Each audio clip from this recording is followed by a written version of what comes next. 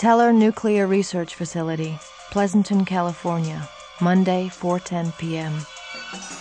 Even through the thick windows of his laboratory building, the old man could still hear the anti-nuke protesters outside, chanting, singing, shouting, always fighting against the future, trying to stall progress. It baffled him more than it angered him.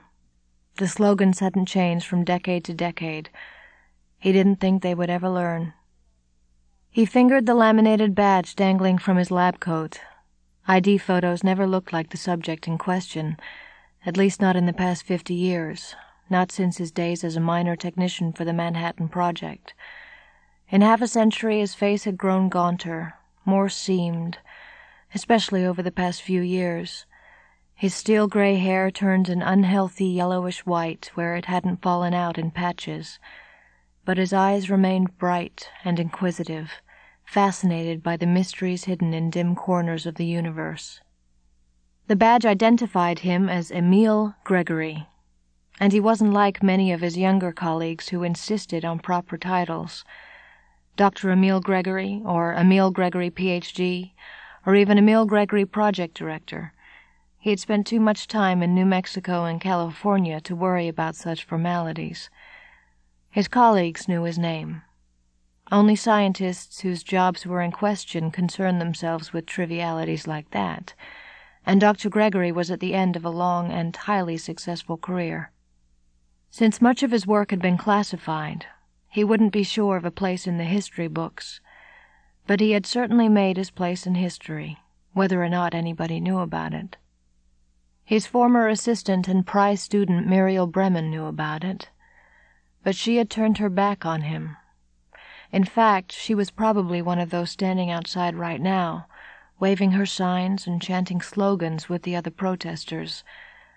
She had organized them all.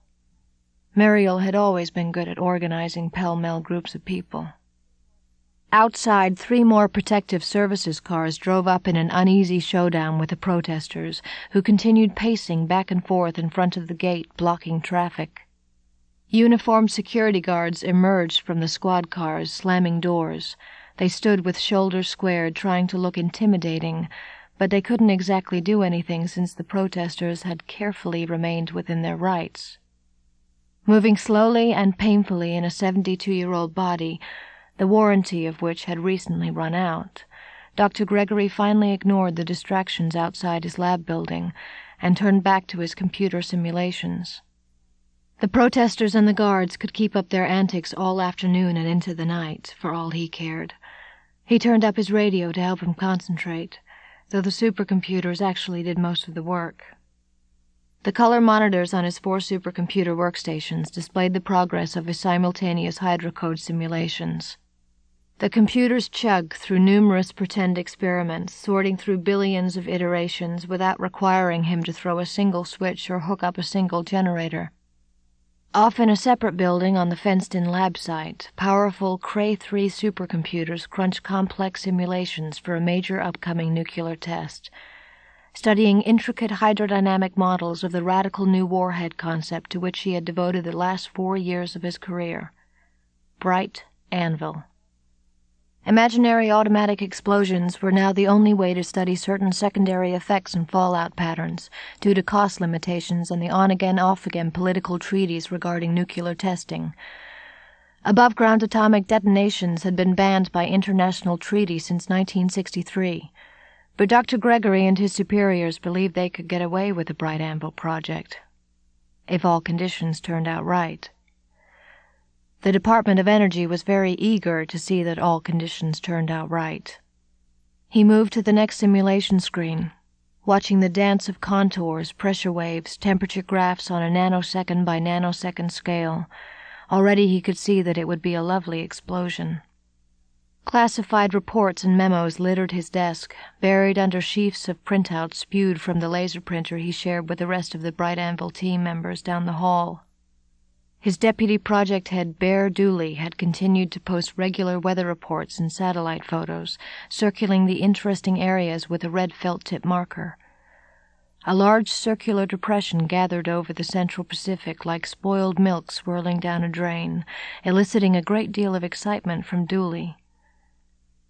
Dr. Gregory had to agree with the assessment, but they couldn't proceed to the next step until he finished the final round of simulations. Though the bright anvil device had already been assembled, except for its fissile core, Gregory eschewed lazy shortcuts.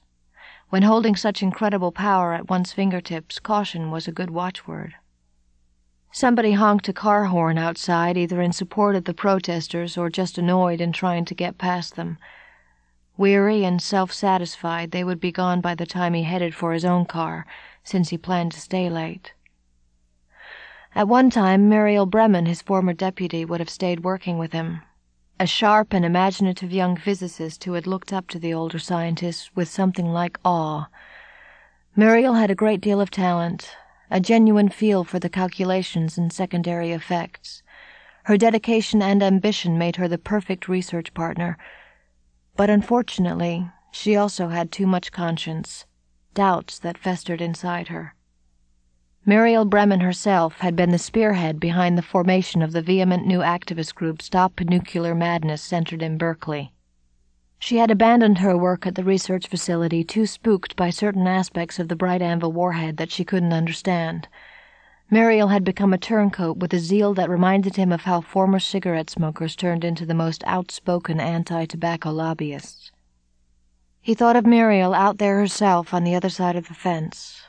She would be waving a sign, tempting the security guards to arrest her, making her point known loud and clear, regardless of whether anyone wanted to hear it. At least he didn't have to worry about her replacement, Bear Dooley. Dooley was a bulldozer of a man with a dearth of tact and patience, but a singular dedication to purpose. He, at least, had his head on straight. A knock came at the half closed door to his lab office. Patty, his secretary, poked her head in. Afternoon mail, Dr. Gregory. There's a package I thought you might like to see. Special delivery. She waggled a small, padded envelope in the air. He started to push his aching body up from his computer chair, but she waved him back down. Here, don't get up. Thanks, Patty. He took the envelope, pulling his reading glasses from his pocket and settling them on his nose so he could see the postmark Honolulu, Hawaii. No return address. The computer calculations continued. The core of the simulated explosion had expanded, sending shock waves all the way to the edge of the monitor screen with secondary and tertiary effects propagating in less defined directions through the plasma left behind from the initial detonation. Dr. Gregory tore open the padded envelope, working to get one finger under the heavily glued flap. He dumped the contents onto his desk and blinked, perplexed. He blew out a curious breath. The single scrap of paper wasn't exactly a letter. No stationery, no signature just carefully printed words with a fine black felt tip pen. For your part in the past and the future. A small glassine packet fell beside the note, a translucent envelope only a few inches long, filled with some sort of black powder. He shook the envelope, but it contained nothing else. He picked up the glassine packet, squinting through his glasses. He squeezed the contents with his fingers. The substance was lightweight, faintly greasy, like ash. He sniffed it, caught a faint, sour charcoal smell, mostly faded by time. Dr. Gregory frowned, letting scorn trickle into his expression. He wondered if this could be some stunt from the protesters outside. Was he supposed to believe this ash came from human remains, perhaps residue of atomic blast victims? He rolled his eyes. You can't change the world by poking your heads in the sand, Dr. Gregory muttered to them, turning his head toward the window. On the workstations, the redundant simulations neared completion after eating up hours of supercomputer time, projecting a step by step analysis of one second in time, the transient moment where a man made device unleashed energies equivalent to the core of a sun. So far, the computers agreed with his wildest expectations. Though he himself was the project head, Dr. Gregory found parts of Bright Anvil incomprehensible, baffling theoretical assumptions and after effects that went against all his training and experience in physics. But the simulations worked, and he knew enough not to ask questions from the sponsors who had presented him with the foundations of a new concept to implement. After a 56 year long career, Dr. Gregory found it refreshing to find an entire portion of his chosen discipline that he could not explain. It opened up the wonder of science for him all over again. He tossed the black ash aside and went back to work. Suddenly, the overhead fluorescent lights in his lab flickered as if a swarm of black bees had gotten trapped in the thin glass tubes. He heard the snapping shriek of an electrical discharge, and the lights popped and died. Dr. Gregory's failing muscles sent stabs of pain through his body as he whirled in despair to see his computer workstations also winking out. Oh, no, he groaned. The system should have had infallible backup power supplies to protect them during normal electrical outages. With a computer crash, he had just lost literally billions of supercomputer iterations. He pounded his gnarled fist on his desk, then levered himself to his feet and staggered over to the window, moving more quickly than his unsteady balance and his common sense allowed. Reaching the glass, he glanced outside at the other buildings in the fenced in complex, but saw all the other interior lights still shining in the adjacent wing of the research building. Very odd. It looked as if his office alone had been specifically targeted. With a sinking feeling, Dr. Gregory began to wonder about sabotage from the protesters. Could Muriel have gone so far overboard? She would have known how to cause such damage. Though her security clearance had been taken away after she quit her job and formed Stop Nuclear Madness, perhaps she had managed to find some method to bluff her way inside, to wreck the simulation she'd have known her old mentor would be running. He didn't want to think her capable of such an action but he knew she would have considered it without qualms. Dr. Gregory swatted at an insistent hissing, buzzing noise in his ears, finally noticing it for the first time.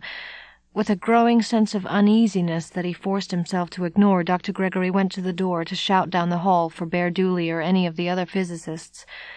But he found the doorknob unbearably hot, unnaturally hot. With a hiss, he yanked his hand away, backed off, staring in shock more than pain down at the bright blisters forming in the middle of his palm. Smoke began to curl around the solid security lock doorknob oozing out of the key slot. Hey, what is this? Hello? He flapped his burnt hand to cool it. Patty, are you still out there? Contained within the concrete walls, the wind picked up inside his office, crackling with electrical static. Papers blew curled up in a foul breath of heat. The glassine envelope of black powder spilled open, letting dark ash spray into the air. He hurried back to the door, untucking his shirt to use it as a shield against the heat so he could try again to open it. By now, though, the knob glowed red hot, a throbbing scarlet that hurt his eyes. Patty, I need your help! Bear, somebody! His voice croaked, growing high pitched with fear. In a rush, the light in the room grew brighter and brighter, seeming to emanate from the walls, a searing, harsh glare. Dr. Gregory backed against the concrete blocks, holding up his hands to shield his face from yet another aspect of physics he did not understand. The whispering voices increased in volume, rising to a crescendo of screams and accusations climbing through the air itself, reaching a critical point.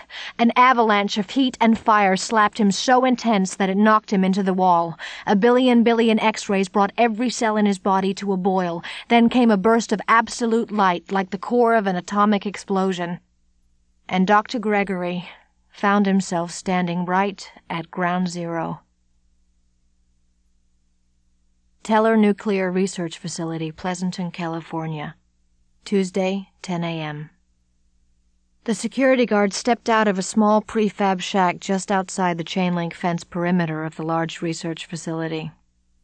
He glanced at Fox Mulder's papers and FBI identification then motioned for him to take his rental car back over to the badge office just outside the gate.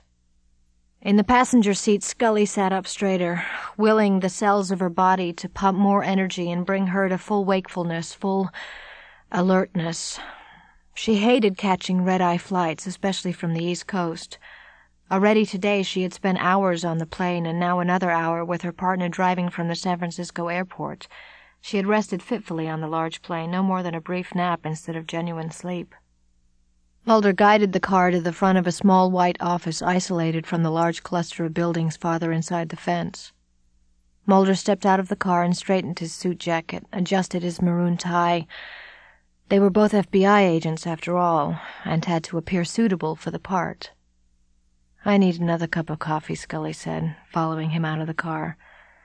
I want to be absolutely certain I can devote my full attention to the details of a case bizarre enough to drag us across the country. A sign on the wall clearly listed all of the items that were not permitted inside the fence of the Teller Nuclear Research Facility cameras, firearms, drugs, alcohol, personal recording devices, telescopes. Scully scanned the items but found it familiar from her own experience at FBI headquarters. I'll check us in, she said, and flipped open a small notebook from the pocket of her forest green suit. She waited in line behind several large men in paint spattered overalls, feeling extremely overdressed for the occasion. Another woman opened a station at the end of the counter and gestured Scully over. I suppose I must look a little out of place here, she said, and displayed her badge. I'm Special Agent Dana Scully. My partner is Fox Mulder. We're here to meet with, um, she glanced down at her paper again, a Department of Energy representative, a Ms. Rosabeth Carrera, who is expecting us here at the facility. The badge office woman handed Mulder and Scully each a laminated visitor's badge. Wear these at all times. Make sure they're visible and above the waist, she said. And here. She handed them each a blue plastic rectangle that clipped to the badge. It seemed to contain a strip of film and computer chip inside. These are your radiation dosimeters. Always keep them on your person. Radiation dosimeters? Scully asked, keeping her tone calm, devoid of any obvious worry. Is there some cause for concern here? Just a precaution, Agent Scully. We are a nuclear research facility, you understand. Mulder and Scully didn't have long to wait before a petite Hispanic woman bustled in through the glass doors, looking full of energy and enthusiasm, eager to meet them. She spotted the two FBI agents instantly and came over. I'm Rosabeth Carrera, she said, one of the DOE representatives here at the research facility. I'm very pleased you could come out on such short notice, but it is something of an emergency. If you follow me, Carrera said, we'll take you into the site and the scene of the, uh, accident. We've left everything the way it was for the past 18 hours. It is so unusual, we wanted to give you a chance to look at it fresh. We'll take my car. Carrera parked in front of the large laboratory buildings and led them quickly through the dim halls in the building up to the second floor. The echoing structure reminded Scully of a high school. Long banks of fluorescent lights lit the halls. One of the tubes overhead was gray and flickering. Scully wondered how long it had been since it needed to be replaced. The entire corridor had been blocked off with yellow plastic tape. Since the Teller Research Facility couldn't be expected to have crime scene barricades, they had settled for construction area tape. Two lab security guards stood posted on either side of the corridor, looking uncomfortable with their assignment. Down the hall beyond the yellow tape, all the other offices stood empty, though the running computers and filled bookshelves showed that they had been occupied recently. Co workers of Dr. Emil Gregory, she wondered. If so, they would all have to be interviewed. No doubt all the workers had been relocated pending investigation of the accident. One door, though, had been tightly shut and sealed with more of the yellow tape. Rosabeth Carrera stood beside it and pulled off her own laminated picture badge, from which dangled a dosimeter and several keys. Take a quick look around, she said, pushing the door open and simultaneously turning her face away. This is just first glance. You've got two minutes. Scully and Mulder stood beside each other at the threshold and stared inside. It looked as if a cluster bomb had gone off inside Dr. Gregory's lab office. Every surface had been singed with a burst of intense heat so brief yet so hot that it had curled and crisped the papers attached to Gregory's bulletin board, but had not set them completely on fire. His computer terminals, four of them, had been melted at the edges and slumped into themselves, the heavy glass cathode ray tube of the screens tilting cockeyed like the sleepy gaze of a dead man. Even the metal desks were bowed and sagging from sudden molten weakness. Scully spotted Gregory's body against the far wall. All that remained of the old weapons researcher was a horribly crisp scarecrow of a man his arms and legs drawn up from the contraction of muscles in intense heat like some sort of insect that had been sprayed with poison and curled up to die. Mulder stared at the destruction of the room.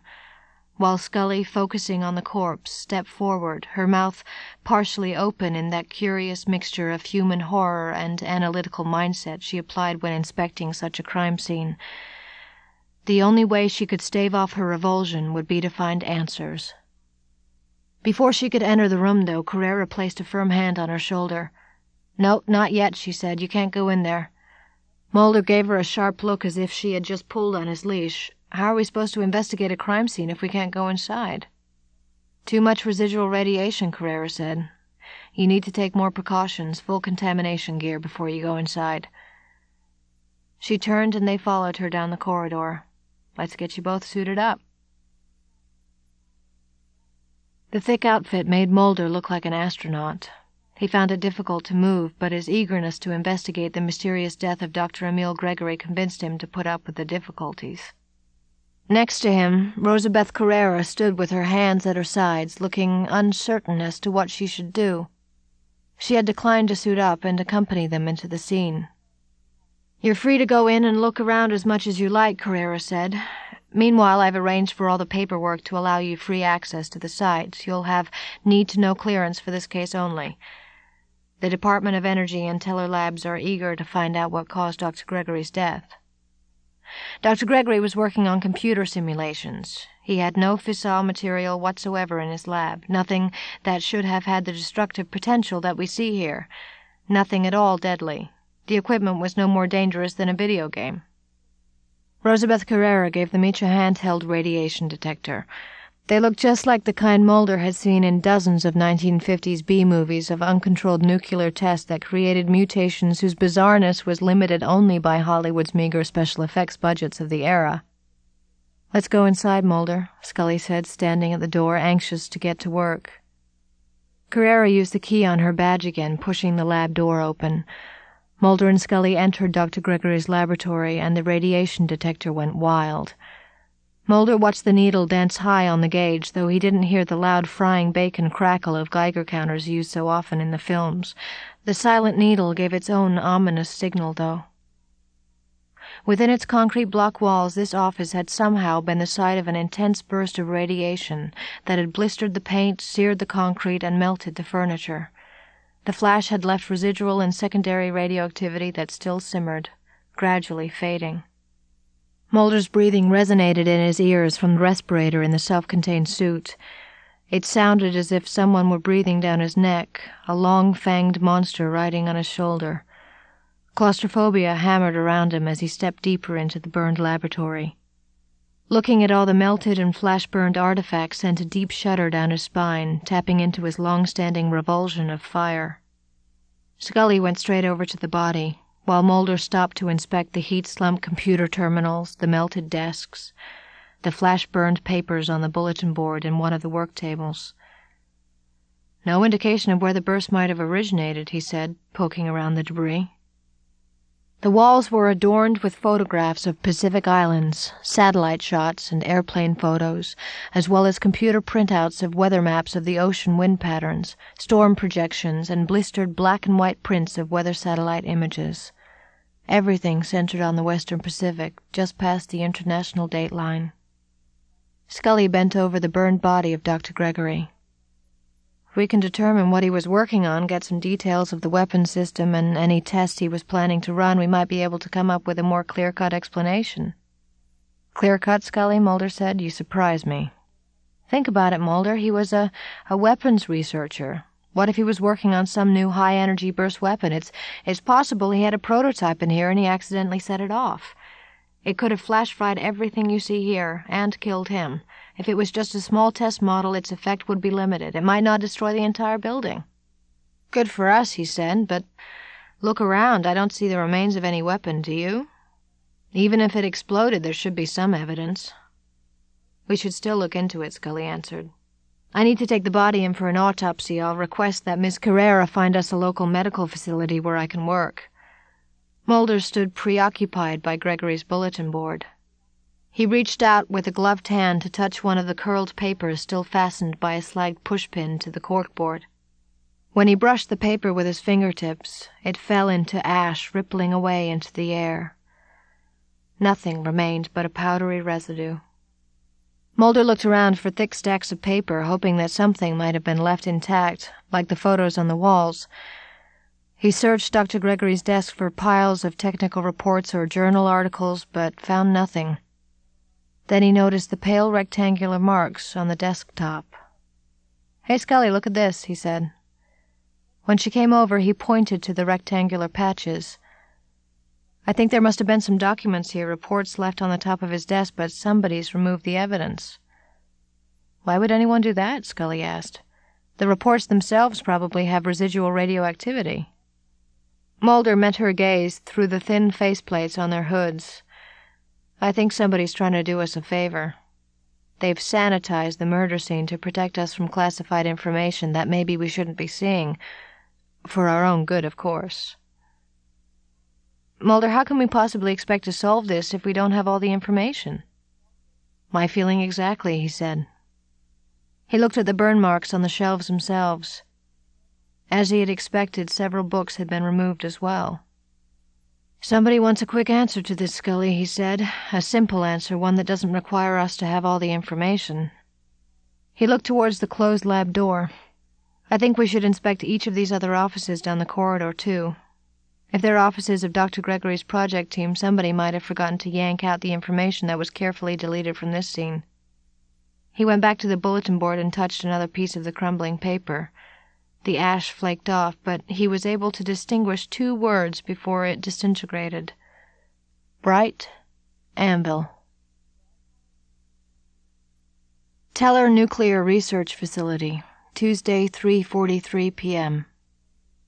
With his visitor's badge firmly clipped to his collar, Mulder felt like a door to door salesman. He followed his map of the Teller facility on which Rosabeth Carrera had circled the building number where Dr. Gregory's project team were temporarily stationed. He found the building, a dilapidated ancient barracks, two stories tall, with window panes so old that the glass had begun to ripple with age. Mulder trudged up the old wooden stairs and yanked open the door, which stuck briefly in its frame. He entered, but the hall was empty. Mulder saw only a kitchenette with a coffee maker and a big plastic jug of spring water sitting on a cooler. A laser printed sign on salmon colored paper was tacked to the wall, and Mulder saw several other copies posted up and down the hall on doors and on bulletin boards. Warning Asbestos removal operations in progress. Mulder glanced at the yellow note of paper on which he had written Bear Dooley's temporary office number. I hope it's not down there, he said, looking at the asbestos work site. He turned right instead, checking doorways, most of which were closed. Not necessarily because the rooms were empty, but because the people couldn't work with so much noise in the halls. He finally reached Bear Dooley's half closed office door. Inside the dim room, a large man wearing a denim jacket and flannel shirt and jeans moved boxes on top of tall black file cabinets, stacking objects hastily retrieved from his old office. Mulder rapped on the door with his knuckles and pushed it farther open. Excuse me, Dr. Dooley? The man turned to look at him. He had long reddish brown hair and a shaggy beard that looked like it was made of copper wire except for a striking shot of white down the left side of his chin, as if he had spilled milk there. His mouth and nose were covered with a white filter mask. Get a mask on, are you crazy? he said. Dooley moved like a quarterback to his battered temporary desk, where he popped open the top right hand drawer and snatched out a filter packet. With his big hands, he tore off the plastic and tossed the mask to Mulder. You FBI guys are supposed to be smart. I'd think you'd pay attention to a few simple safety precautions. Mulder sheepishly fastened the mask around his face with the long elastic band and breathed through the paper smelling covering. He held his badge in his hand, flipping open his ID to display the photo and badge. Bear Dooley, I presume. How did you know I was with the FBI? The big man let out a loud laugh. Are you kidding? A suit and tie means you're either with the Department of Energy or the FBI, and with Dr. Gregory's death, I assumed you were FBI. We were told to expect you and to cooperate. Thanks, Mulder said.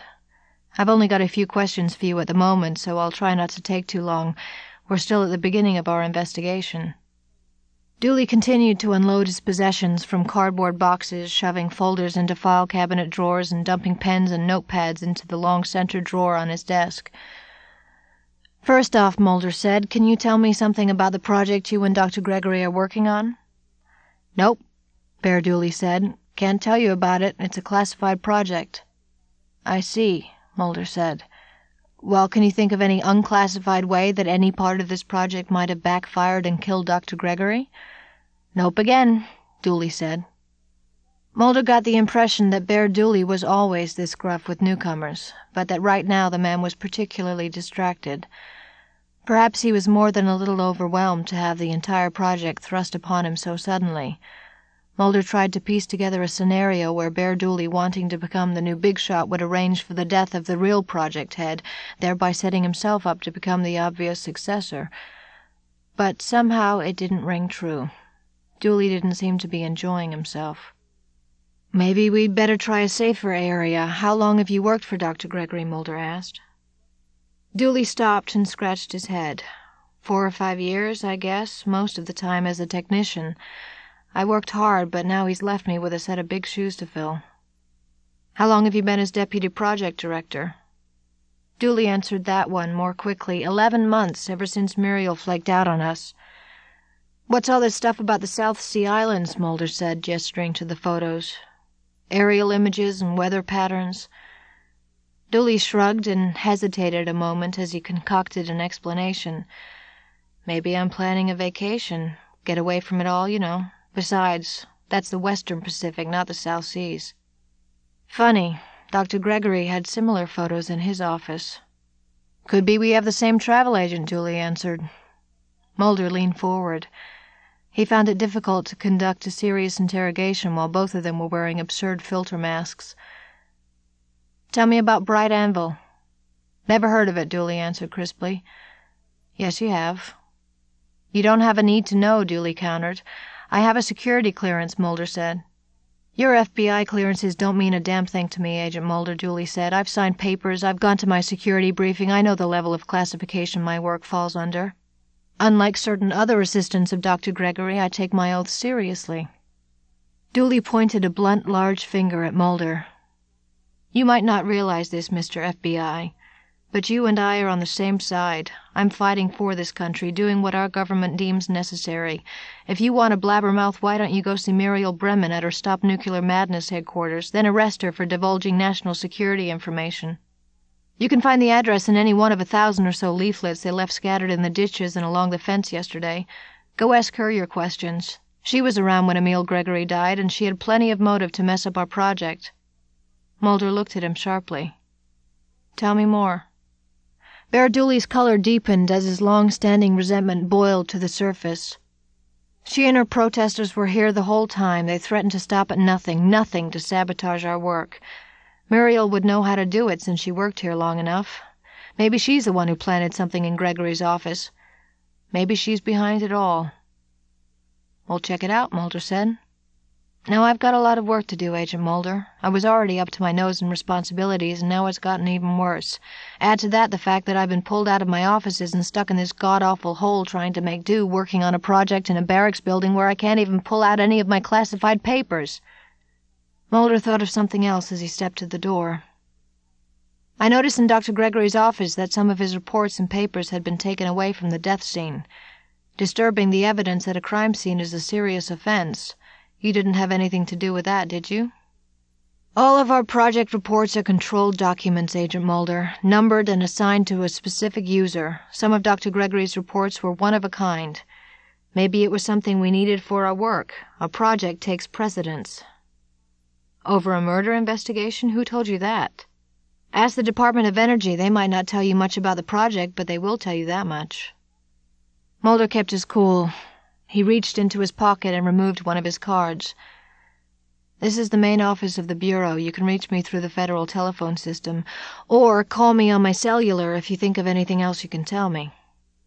Sure, Dooley took the card and offhandedly opened up the center desk drawer, already cluttered with pens and rulers, pushpins, paper clips, and other debris. He tossed the card inside where he would probably never be able to find it again, even if he wanted to. Mulder didn't get the impression Bear Dooley would want to. Teller Nuclear Research Facility, Wednesday, 12:15 p.m.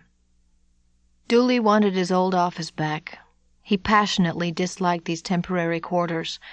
He felt as if he were camping in his own workplace. Roughing it, Mark Twain would have called it. Such distractions annoyed him. The Bright Anvil project was too important for him and his co-workers to make do while the investigation into Dr. Gregory's death continued. The project had a very narrow window of time and conditions had to be exactly right. Just let Bright Anvil go off without a hitch, he thought, and the FBI agents could have all the time they wanted. He glanced at his watch. The new satellite images were ten minutes overdue. Dooley reached for the phone. Victor, where's the weather report? he said without wasting time with a greeting or cordialities. His young assistant could certainly recognize his booming voice by now. We've got it, Bear. I was just double checking and triple checking the meteorological projections. Uh, I think you'll like them this time around. Well, get them over here, Dooley said, so I can check them a fourth time. Things have to be exactly right. Dooley sat back in the creaking old chair, trying to get comfortable. Out in the halls, the construction workers continued their hammering and pounding, tearing down the walls. Plastic sheeting lay draped over everything as they ransacked another wing of the building. The barracks outside door opened, and Victor Ogilvy bounded up the wooden stairs, then down the linoleum hallway to Dooley's temporary office. He burst in, his face florid, grinning with the eagerness of Jimmy Olsen hot on a new story. His glasses slipped down his nose. Here's the satellite printouts, he said, and here's the overlays. He spread the projections on Dooley's cleared desk. See the storm clouds here, Bear? 95% projection that it'll follow the path I've marked with red dashes. He traced a big knuckled finger along a contour in the western Pacific, just past the international date line in the Marshall Islands. I've looked for projected landfalls, and there seems to be an absolutely perfect target right here. Victor's finger completely obliterated a minuscule dot that looked like a printer's error in the middle of the ocean. Bingo. Dooley looked down. Anika Atoll. Ooh, exciting, he said, reading the brief description.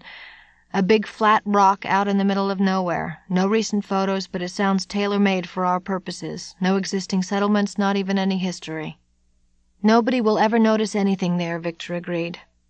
Hurricane warnings have gone out to all the adjacent islands. There's not much in the vicinity, only a few sparsely populated islands. Dooley nodded. All right, let's start making phone calls. As of right now, I'm activating Bright Anvil. We're on our way. Let's get the Corps of Engineers flown out to Anika, get our destroyer on standby down at Coronado Naval Base ready to move out as soon as we arrive. The young assistant scuttled toward the door, but Dooley called after him. Oh, and Victor? The other man turned around, blinking owlishly behind his glasses, his mouth partly open. Don't forget to bring the suntan lotion. Victor laughed and disappeared down the hall. Dooley stared down at the maps and weather charts again, letting a smile creep across his face.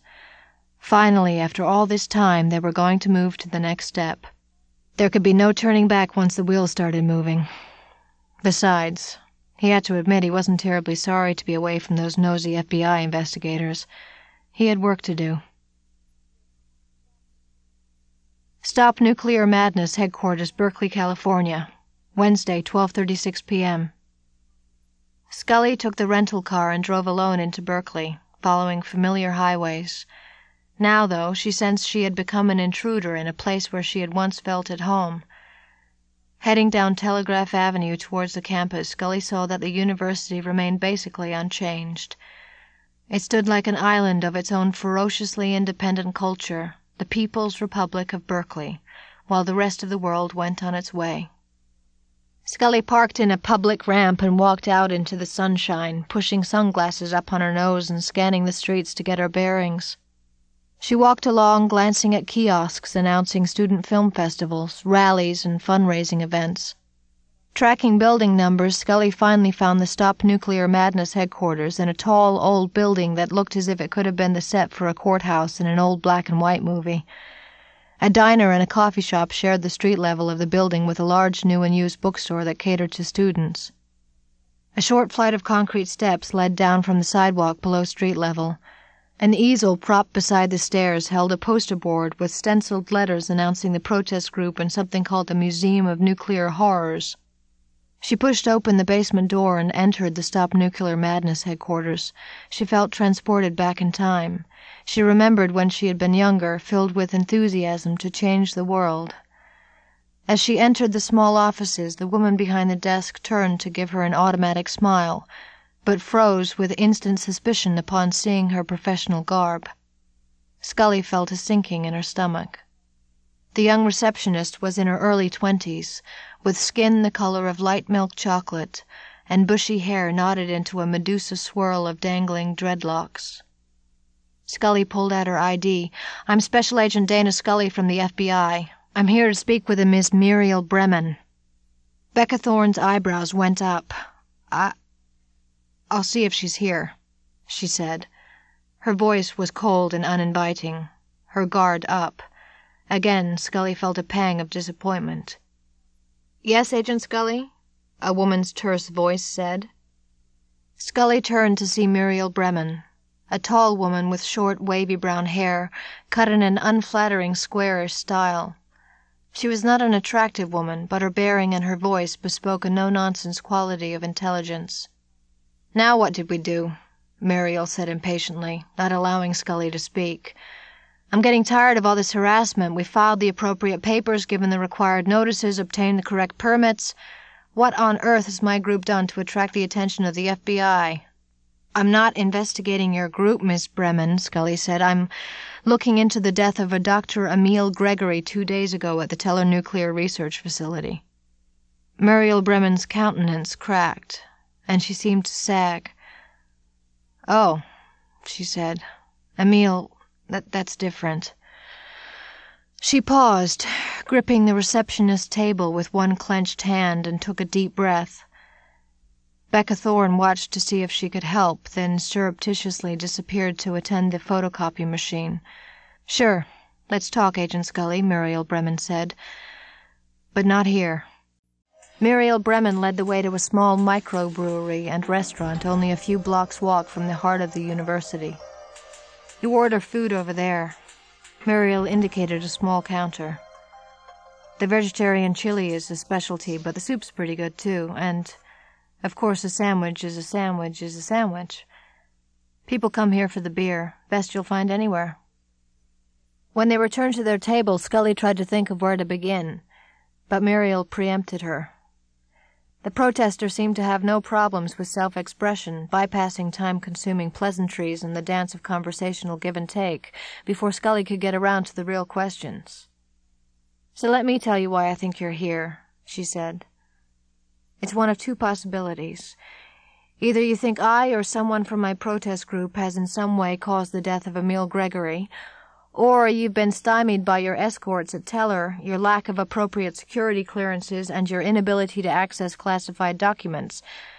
Nobody'll tell you anything, and you've come here thinking that I can give you some answers. Scully spoke slowly. A little of both, Miss Bremen. I've completed the autopsy on Dr. Gregory. There's little doubt as to the primary injuries that resulted in his death, but I haven't yet been able to determine how they came about. What did Dr. Gregory stumble into that caused his death? I'll have to admit your protest group does have a credible motive for wanting Dr. Gregory out of the picture, so I have to investigate it. I also know that Dr. Gregory, a man you worked with, was involved in some sort of new classified weapons project, something called Bright Anvil. But nobody will tell us what that is, and here you are, Miss Bremen, at the intersection of both of my lines of reasoning. Well, then let me tell you something, Muriel said, folding her hands around her pint of dark beer and taking a long swallow. It sounds cliched to say that I have nothing to hide, but in this instance I truly don't. It works to my benefit to tell more and more people about what's really going on at the Teller Nuclear Research Facility. I've been trying to blow the whistle for the past year, here, I brought along some of our group's brochures. She reached into her pocket and handed over two of the hand folded photocopied pamphlets that some volunteer had no doubt designed and laid out on a personal computer. Back when I worked at the Teller facility, I was quite a devoted assistant to Dr. Gregory, she said, settling her long chin into her hand. For many years, Emil was my mentor. He helped me along through the politics and the paperwork and the progress reports so I could do some real work. But you had some sort of falling out, Scully said. In a way, but not exactly like that, Muriel said, then sidestepped the question. You want to know what bright anvil is. It's an unorthodox type of nuclear explosive. These days, despite the end of the Cold War and the supposed downscaling of nuclear weapons development, Bright Anvil is a very special type of warhead using a technology that. She paused, then stared at the walls. It's a technology that seems to operate beyond the laws of physics, as I know them, and I do know physics, Agent Scully. The whole Bright Anvil project was invisible on the ledger sheets. It was funded by non traditional means, money skimmed from other projects to pay for new tests, new research, unorthodox concepts. It was never listed on any budget ever submitted to Congress, and you won't be able to track it down. Emil had worked in the nuclear weapons industry for many years. He was even at the Trinity test himself back in 1945. She smiled wanly. He used to tell her stories. Her lips trembled for just a moment, but she covered it by eating some of her chili. But by now he was at the end of his career. He thought he was covering it up from all of us, but I don't think he was in very good health. Scully nodded, but did not ask any questions. Emil wanted to do something important to end his career on a high point. Then Bright Anvil fell in his lap. Someone else had done the preliminary physics. We got designs for exotic high energy pulse power sources. It was a done deal. The components worked, although I couldn't figure out how or why, but Emil didn't worry about that. He got all excited. He saw how such technology could be used to create a fundamentally new kind of warhead. Emil took it and ran with it.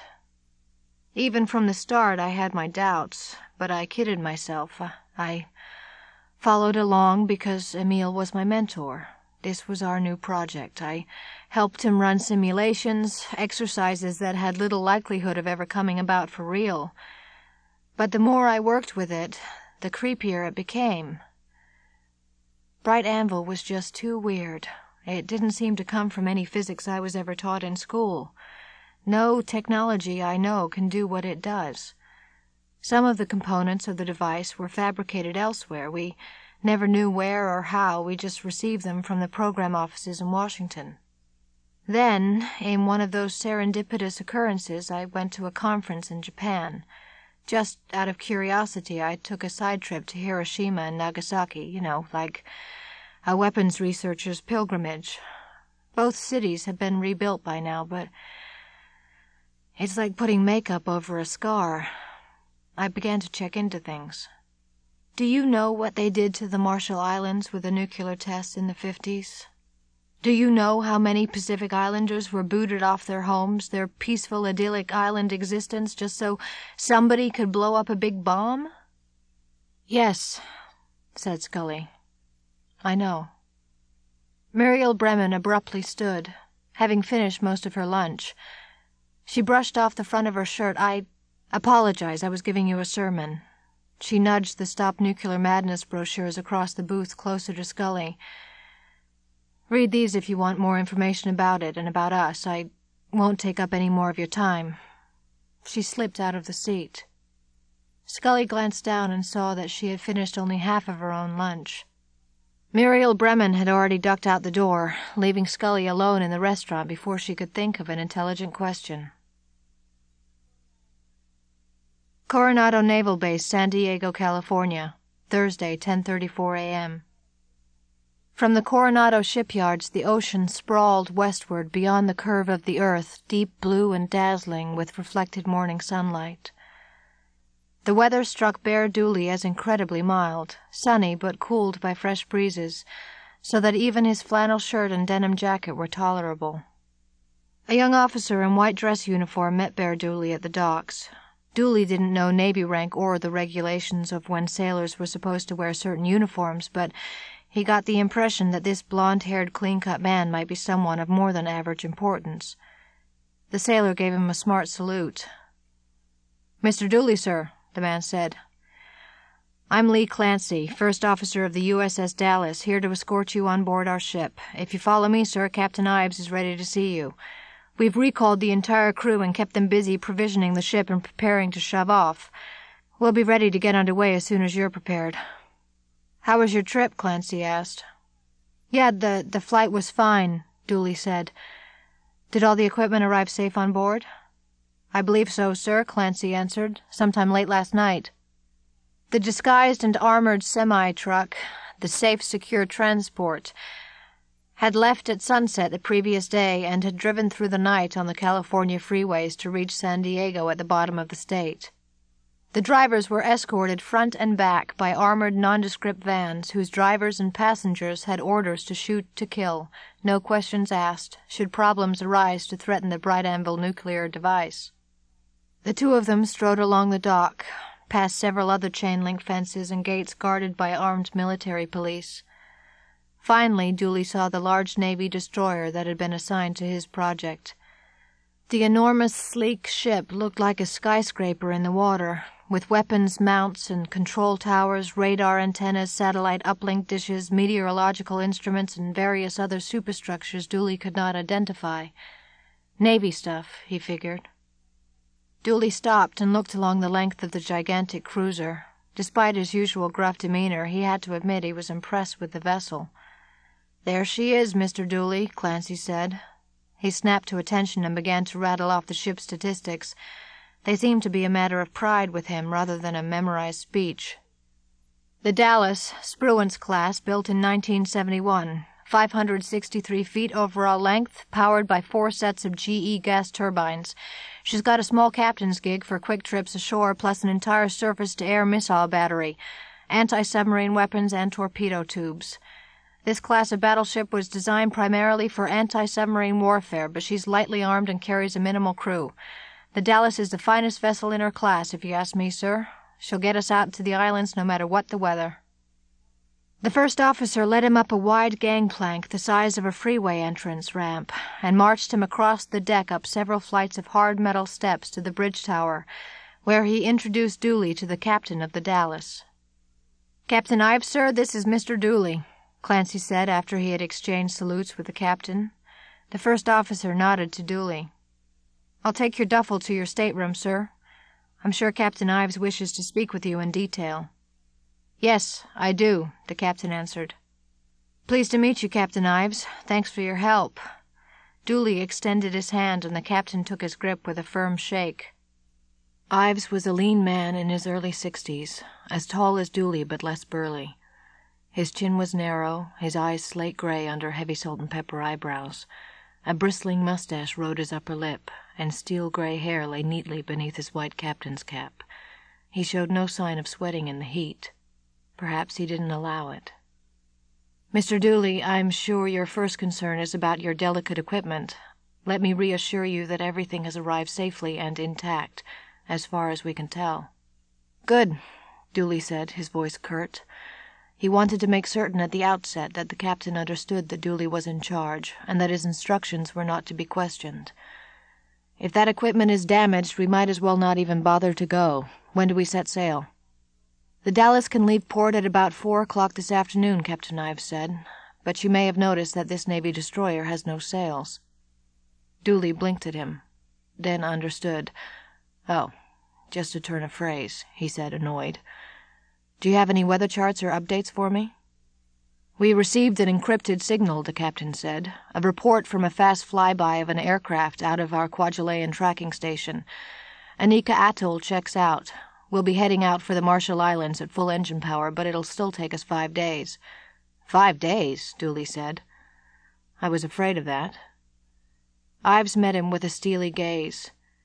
This isn't an aircraft, Mr. Dooley. It takes a long time to get a ship this size across that much water. All right, all right, Dooley said. I suppose I knew that. Do we have weather satellites?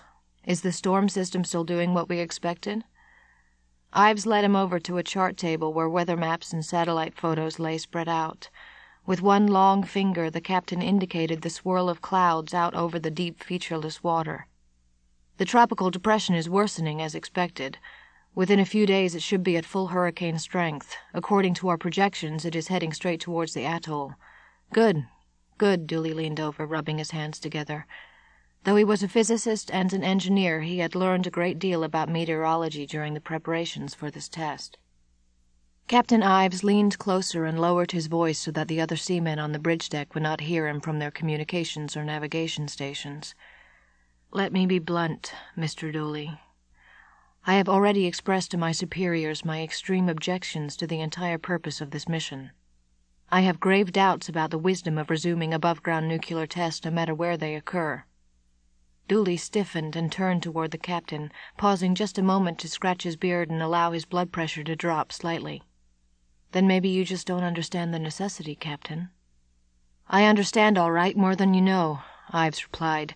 You see, I've been present at several hydrogen bomb tests already, one of which I doubt even you know about, since all the results were highly classified.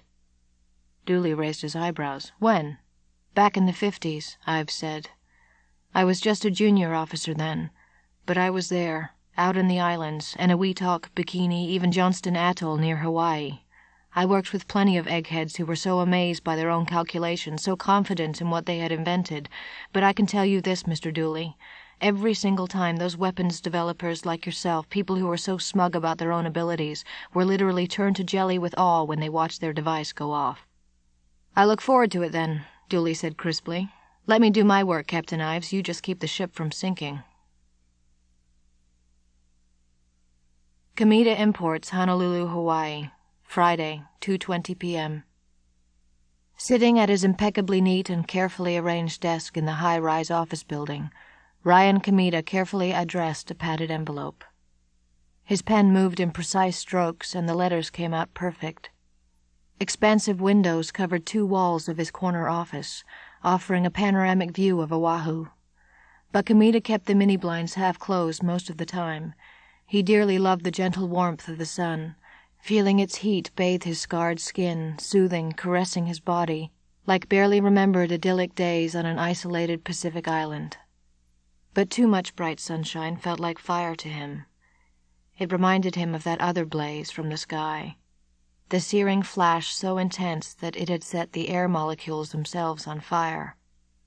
Kamita's snow white hair lay neatly on his head, perfectly maintained, thick and nicely cut.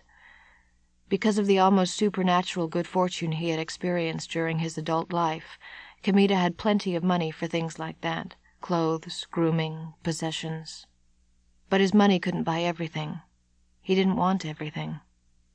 His burned hands gripped the felt tip pen as if it were a weapon, and in a sense that's exactly what it was. The words resounded in his head, he filled out the address in a careful, perfect script, feeling for the right spot on the padded envelope. He could sense the accuracy of his letters. Satisfied, Kamita clicked the cap back on the pen. Then he reached out to hold the special envelope, feeling its edges, the sharp corners. He took it on faith that he had filled out the address correctly. He would never ask anyone else to double check it, though he could not see it himself. Ryan Kamita was completely blind. The list in his mind grew shorter and shorter with each package he sent. Each target he identified. Kamita kept the names of those responsible clear in his well honed memory. No doubt to assuage its unspoken pangs of guilt, the government had assisted Ryan Kamita through the years, sometimes giving veiled handouts, other times blatantly approving his proposals and choosing him over his competitors. Kamita had used whatever resources were available to build his company into a successful business that specialized in exotic imports from little known Pacific islands. He needed the money to accomplish his true mission. Kamita fingered the envelope, stuffed the handwritten note in the small glass vial inside, then sealed it. That simple act of closure brought a shudder of relief to him, but it lasted only a moment. No matter how many such packages he sent, no matter how many victims he identified, he could never make up for the loss of his people. In a single stroke, Ryan Kamita's family, his relatives, his tribe, his island, had vanished in a surge of light and flames. A small boy was the only survivor. But Kamita did not consider his survival to be a miracle or a blessing.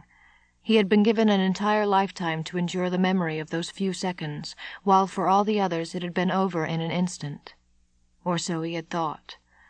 The voices in his head had not stopped screaming since that day when he was ten years old. Setting the envelope aside for immediate pickup, he tilted his burned face and blank white eyes toward the ceiling. He couldn't see, but he could feel, could sense the gathering storm. The ghosts of his incinerated people grew more and more restless. They would strike out at their own targets if he refused to give them a victim of his own choosing. The ghosts had waited so long, and Ryan Kamita could no longer keep them under control. He picked up the hand addressed envelope and left his room, walking to the mail drop from which the package would be rushed to an airplane and shipped to the mainland United States. It would be delivered to a particular low profile but very important official of the Department of Energy headquarters near Washington, D.C. It was probably already too late to stop Bright Anvil, he supposed, but perhaps this would be enough to prevent the nightmare from occurring again. Scheck Residence, Gaithersburg, Maryland, Monday, 6:37 p.m. It was a hot and humid late afternoon in the Washington D.C. area. On days like this Nancy Scheck knew that all the hassle of maintaining a swimming pool in her fenced-in backyard paid off. She let the front screen door close by itself in her big brick front house with black shutters. It was just the kind of imposing mansion an important Department of Energy executive was supposed to own and she relished it. Such a mansion was far more than she needed, but Nancy Scheck didn't like the implications of settling for a more modest dwelling. Not now. All her career she had been concerned with moving up in the world, trudging forward, clawing her way to the top. At the moment, though, Nancy couldn't wait to get out of her clothes and take a long, luxurious dip in the pool. She snagged the usual pile of mail and dropped it unceremoniously on the kitchen counter. She punched the answering machine to listen to the messages left there. The second message was in a rich, familiar voice. The words sounded formal and innocuous, but she could detect the hidden passion behind them, a cordiality that went orders of magnitude beyond a mere business relationship, or even a good friendship. In her persona at work, she called him Brigadier General Matthew Bradukas and at cocktail parties and Department of Energy social functions she still called him General Bradukas. During his frequent visits here in her backyard and on the patio she allowed herself to call him Matthew. And while they were in bed she moaned endearing and never to be repeated names into his ear. He didn't identify himself on the answering machine, not that he needed to. It's me. I'm a little late to the office, so I won't be over until 7:30 or so. I'm going to stop by my house and pick up the two porterhouse steaks I've been marinating in the fridge all day. We'll throw them on the barbecue grill, then we can take a swim and whatever. With so many parts of the project coming to a head, reaching its climax, Nancy giggled. Knowing he had picked the turn of phrase intentionally, she found it very erotic. We both need a little release from our tension.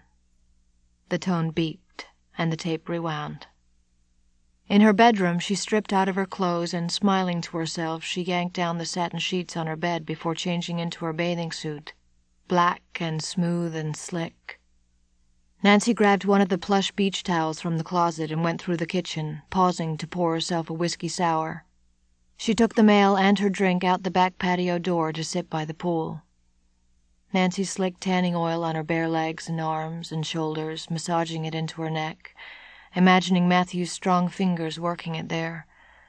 She tried to distract herself by opening the mail, sifting through the form letters, advertising circulars, and junk mail without interest, until she came upon an express delivery package with no return address and a postmark from Honolulu. Maybe I want a free trip for two, she said, and tore open the envelope. To her disappointment, she discovered only a small glass vial of fine black ash and a small scrap of paper. The message was written in neatly printed letters, carefully formed capitals, like a note from a kidnapper who wanted to make sure his handwriting would not be recognized. For your part in the future. She frowned at the note. What part in the future? Out of curiosity, she shook the vial of black ash. Am I supposed to convince people to stop smoking? Nancy stood up, disgusted at somebody's lame idea of a joke. Whoever was trying to threaten her or pull her leg couldn't do a very good job unless she understood what the point was.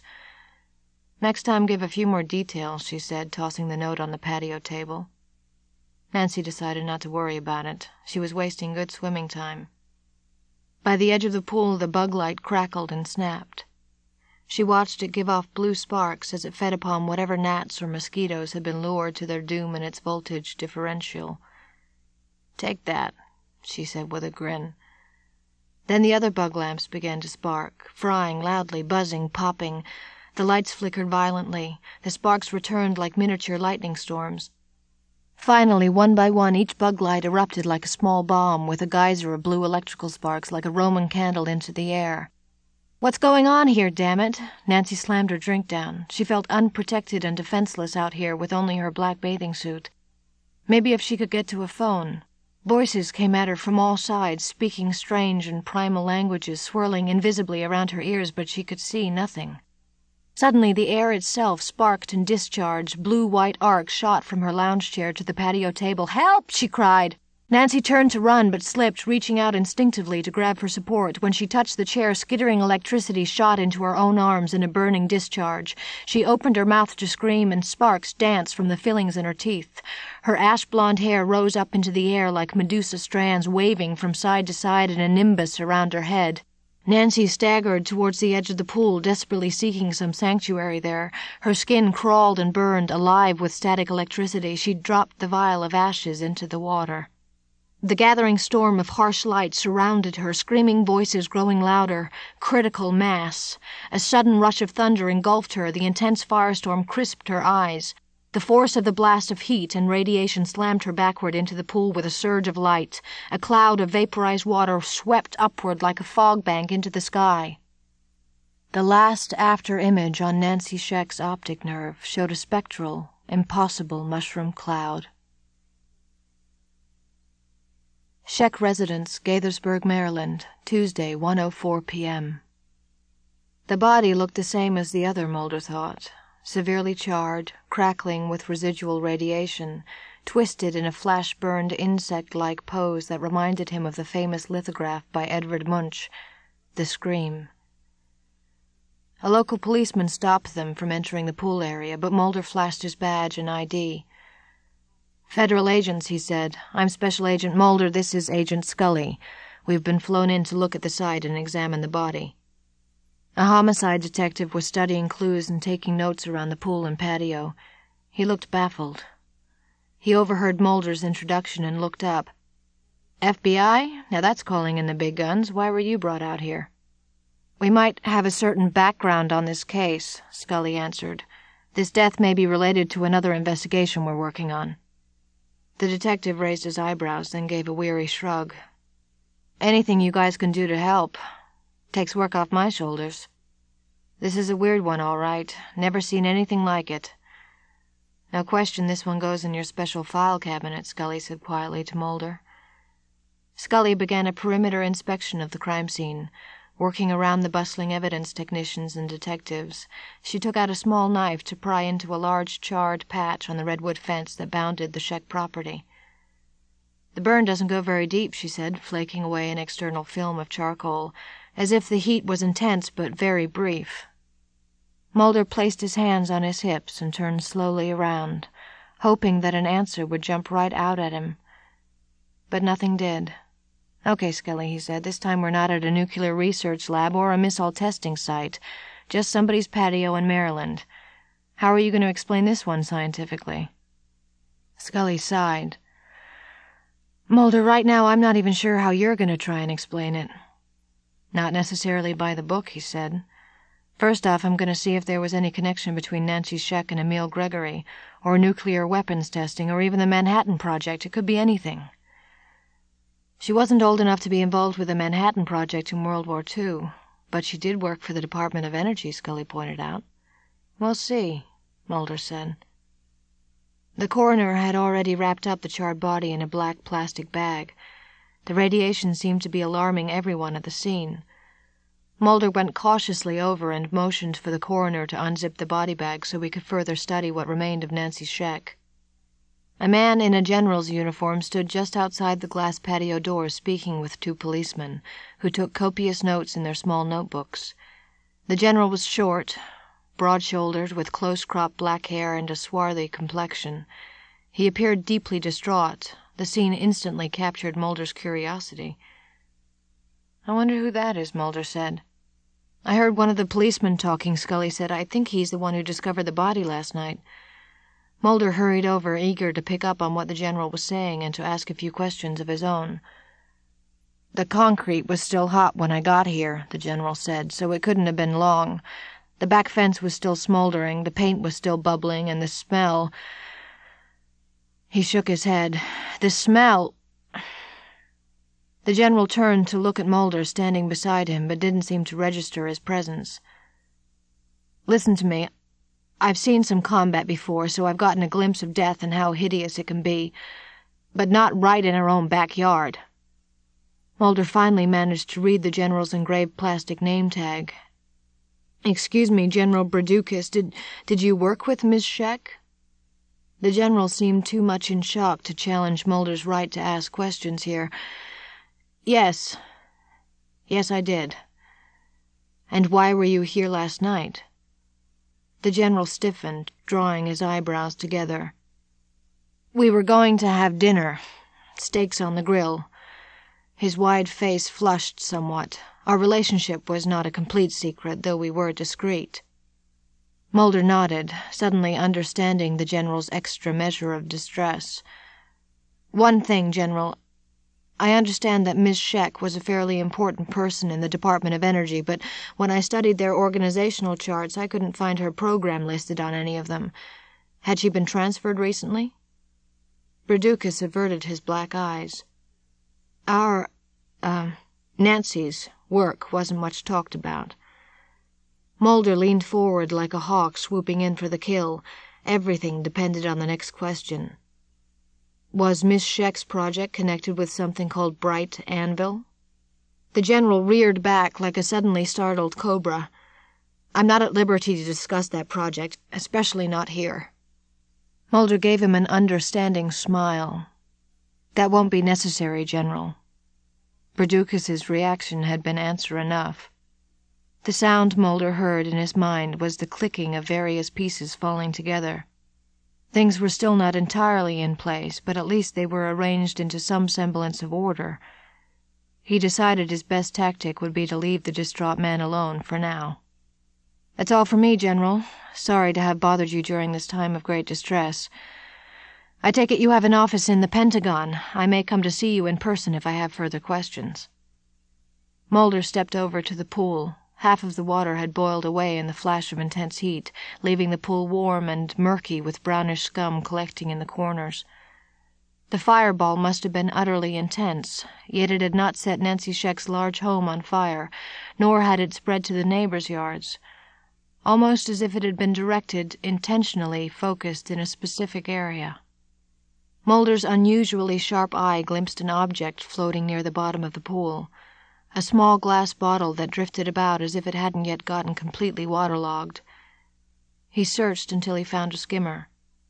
Mulder took it to the edge of the pool and dipped the net deep, swirling it around until he succeeded in snagging the dark object, fishing it out. Water trickled off the edges of the skimmer.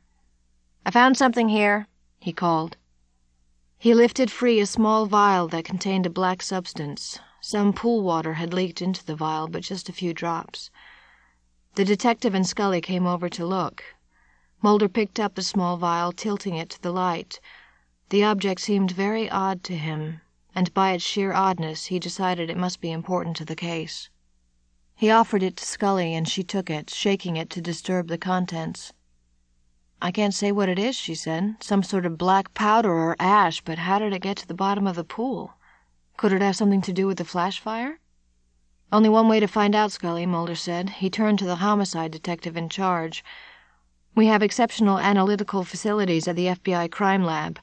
I'd like to take this back with us to run a full analysis. We'll copy you with all the reports, of course. Sure, the detective said. One less thing for my people to do. He shook his head. I've never seen anything like this case, and I think it might be beyond me. Do me a favor and figure this one out. With one hand the detective brushed his hair back. Sheesh. Give me a stabbing or a drive-by shooting any old day. FBI Headquarters, Washington, D.C., Tuesday, 3:07 p.m. After all her time on the road, Scully was glad to be working in her own lab for a change. even if it was on such a gruesome subject as this. She basked in the solitude and familiar surroundings. She knew where all her equipment was located. She knew who to call for help or a technical consultation. She knew other experts whose skills she respected in case she needed an unbiased person to double check what she herself had found. In mid afternoon, Scully entered the main lab of Berlina Lou Kwok.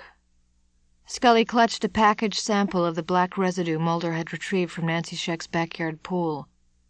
I thought I'd fill out the forms in person. Scully handed over the sample along with a note Mulder had written expressing his suspicions as to the identity of the substance. Lou Kwok scanned the words. Interesting, she said.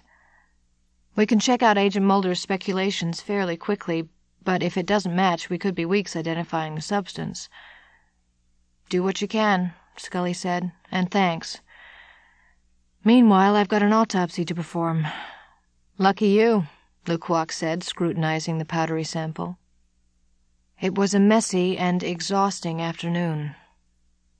Scully completed the autopsy of Nancy Scheck, but now that she had studied two victims who had apparently died from the same bizarre and lethal weapon, she still had no guess as to what the physical cause could have been. It was easy enough to list the cause of death as sudden and violent exposure to extreme levels of heat and radiation, but that still didn't say where such exposure had come from. Was it a new kind of death beam or a pint sized nuclear warhead? From her own undergrad classes, Scully knew the physics of a nuclear explosion well enough to understand that a warhead could not fit inside, say, a small package bomb or a hand grenade. Critical mass and initiators and shielding required a certain amount of bulk, and such things left debris, none of which had been found at any of the murder scenes.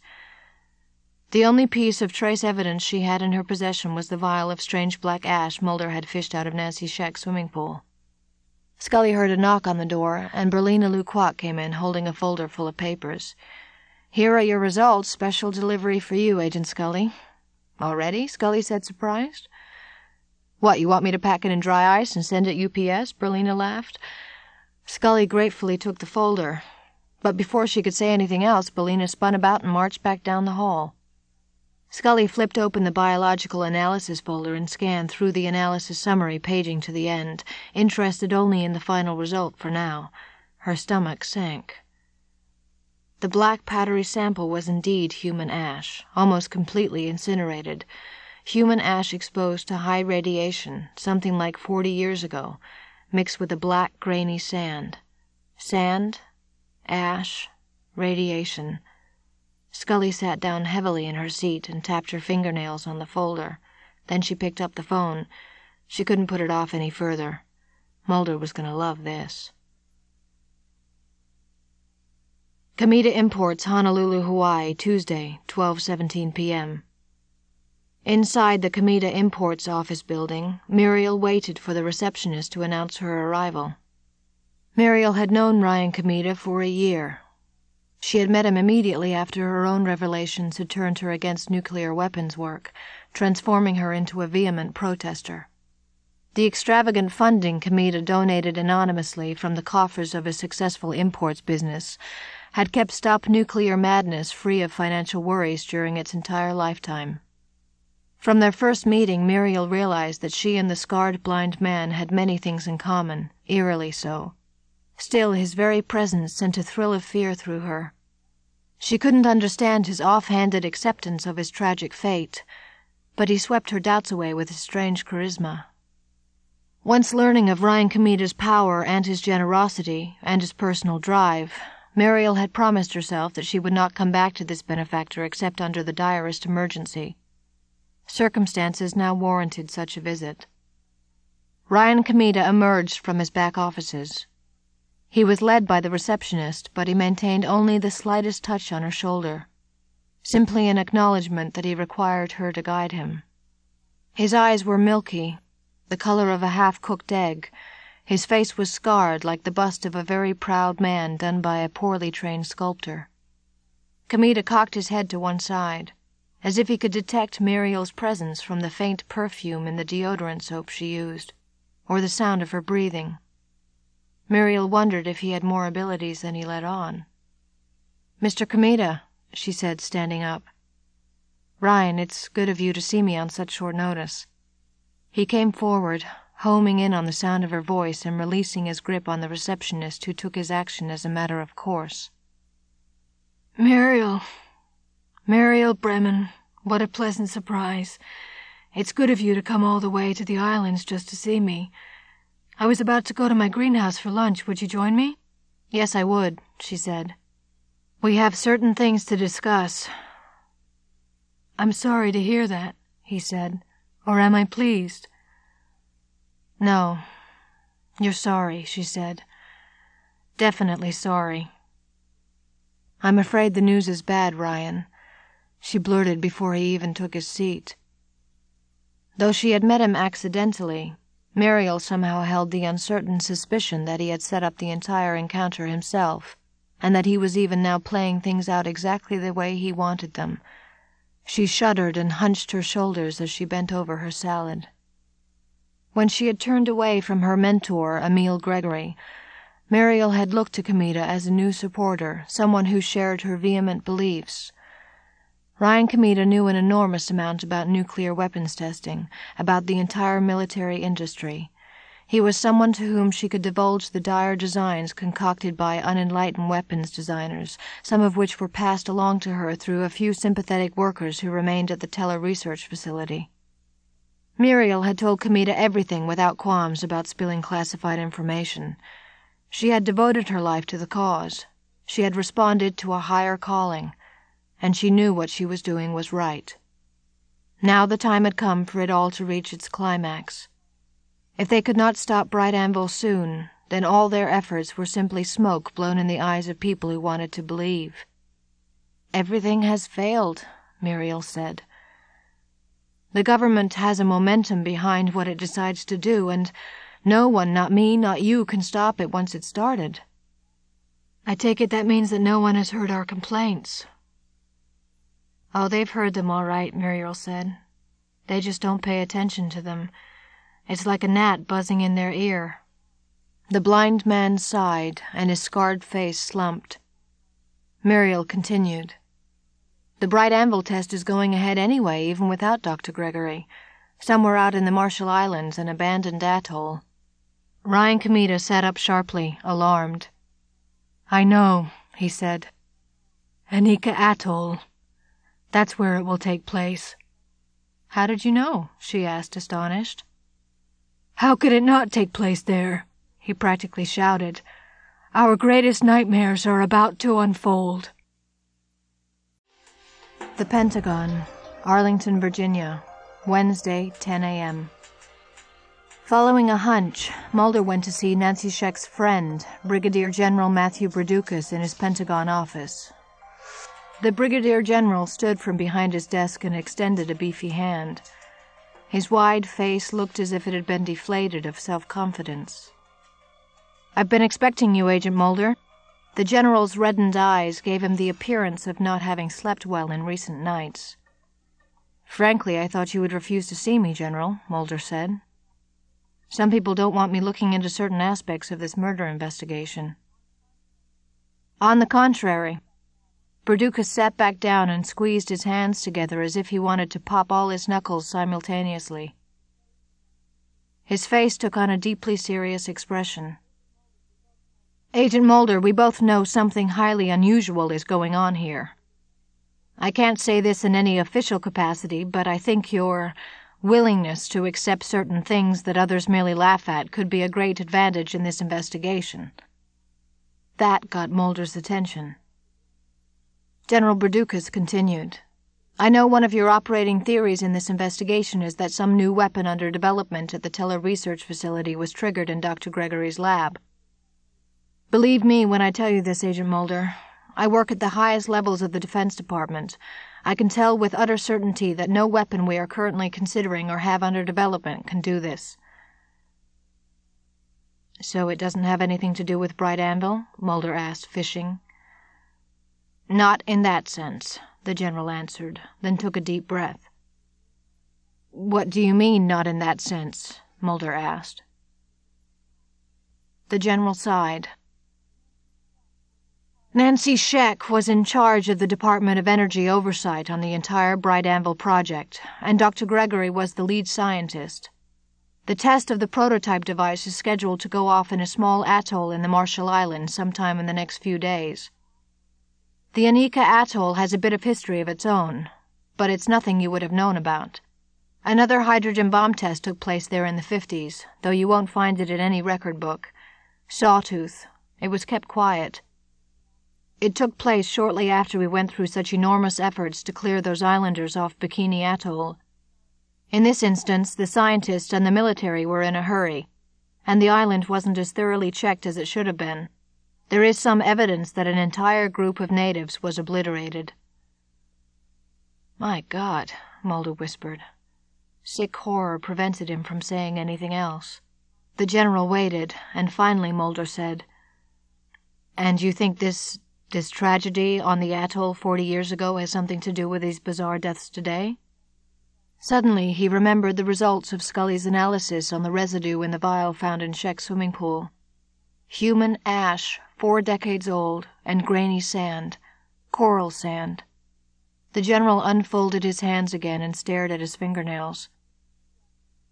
I didn't suggest any such thing, Agent Mulder. You're free to think what you choose.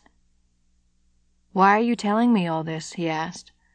Do you want to make sure someone is caught for Nancy Scheck's death? Bradukas looked deeply saddened. That's part of it, he said. But also because I fear for my own safety. Your safety? Why? Nancy was the DOE liaison for the Bright Anvil project. I am the Department of Defense liaison. I'm afraid I might be next on the list. I'm trying to hide. I've been staying in a different hotel every night. I haven't been home in days, though I'm not sure such measures will do any good. I don't suppose you have any suggestions on how we might stop this thing? Mulder asked. The general flushed again, though more in panic this time than in embarrassment. Bright Anvil itself seems to be the link. Whatever has been awakened or at least triggered into violent action came about because of this impending test. There's no telling how long it's been around, but it became active only recently. Mulder jumped in. Then whatever is going to happen, whatever event these killings are building towards, will probably occur out in the Marshall Islands. That's the only place we can be sure of. He plunged ahead without thinking. General, my partner and I need to be there. I need to be at the site to see what's happening. The general stood up. I'll make a few phone calls. I'll even call Assistant Director Skinner if need be. Just be ready to get on the plane. We don't have any time to lose. Anika Atoll, Marshall Islands, Western Pacific. Wednesday, across the international date line, 12:14 p.m. The atoll had recovered remarkably well in 40 years. The low, flat island, little more than a massive coral reef with a shallow dusting of topsoil, was once again burdened with lush tropical vegetation. Fish swarmed in the reefs and lagoons Birds and butterflies thronged in the foliage above. When Captain Robert Ives had left here four decades earlier, he had been a young, low grade seaman who had barely learned to shut up and do what he was told. The spectacular Sawtooth nuclear test had been the most awe inspiring sight his slate gray eyes had ever witnessed. It had reduced Anika Atoll to little more than a hot, blasted scab its entire surface sterilized, its coral outcroppings sheared off in the boiling froth of the sea, vegetation crisped, wildlife exterminated. With amazing recuperative powers, nature had rapidly reclaimed the territory that humans had so swiftly and violently snatched away. Once again, Anika Atoll looked like an isolated island paradise, pristine and uninhabited. At least Captain Ives hoped it was uninhabited this time. On the shore of the atoll, sheltered behind the rugged coral rocks that formed the highest point of the island, Bear Dooley and his team members used sailors and Navy engineers to help prepare for their secret test. A small runway was cleared along the straight stretch of beach. Bulldozers offloaded from the Dallas plowed through the jungle, scratching narrow access roads from the sheltered control bunker to the lagoon on the far side of the atoll, where the bright anvil device would be set up and detonated. They constructed a bunker to house the controls that would run the small warhead detonation. Because the blockhouse would be so close to the detonation, it had to be incredibly sturdy. Inside the bunker, Bear Dooley supervised the installation of all his test equipment. Dooley listened in on the shortwave radio to regular weather updates for the Marshall Islands. Every time the announcement tracked the approaching tropical depression, now nearly a full fledged hurricane, he grew ecstatic. It's coming, Dooley had said to Ives the last time he received such news, and we've got a lot of work to do. Timing is crucial. Ives let the man have his way. He had his orders, after all. He didn't think Bear Dooley was even aware of the previous H bomb test that had taken place in the same area. Dooley didn't seem the type of man who had spent an inordinate amount of time studying history or worrying where things came from. Captain Robert Ives had hoped never to see Anika Atoll again. But now he had returned for yet another secret nuclear test. Oakland Naval Base, Oakland, California. Thursday, 2:37 p.m. Mulder and Scully arrived in the San Francisco Bay Area, red-eyed and exhausted from all the travel, knowing they had a much longer trip still in front of them. Mulder rented the car, and they drove toward the Oakland Naval Base, then spent the better part of an hour at the gate showing their paperwork, answering questions, and finally arguing with a stoic military policeman who made repeated phone calls to his superiors inside. Exactly where the guard had directed them, they found the whale-sized C-5 transport. Small hydraulic vehicles were hauling cargo, stuffing crates into the swollen olive-colored belly of the plane. Mulder, carrying his own suitcase and briefcase, walked to the metal steps that led up to the aircraft passenger compartment. I hope we can get ourselves a window seat, he said. Non-smoking. I think I'll try and take a nap on the way, Scully answered. Inside the no frills transport plane, Mulder looked around the sharply shadowed interior, which was lit from behind and below by the open doors in the cargo compartment. Other passengers, naval officers, and enlisted men, as well as half a dozen non military types, moved about finding places to sit. Mulder and Scully searched for a comfortable seat, but all the chairs were hard and stiff backed. They both buckled in. Guess they don't have a first class section, Mulder said. He turned around in his seat and recognized some of the civilians already sitting buckled in their seats. Scientists and technicians he had seen at the Teller Nuclear Research Facility. The big transport plane began to lurch along, lumbering into motion like a behemoth, as aerodynamic as a bumblebee but orders of magnitude louder. The C 5 accelerated down the runway and gracefully lifted off, hauling its enormous bulk into the air with a roar of jet engines. Before long the aircraft had gained altitude, circled over the hills east of Oakland, and then headed straight out to sea. The aircraft struck heavy turbulence, jouncing the passengers from side to side in their seats. Scully held a white knuckled grip on the arms of her chair. Mulder nonchalantly chose that moment to lean forward against the bucking carnival ride to pull out his briefcase. He snapped it open on his lap, ransacking it for papers.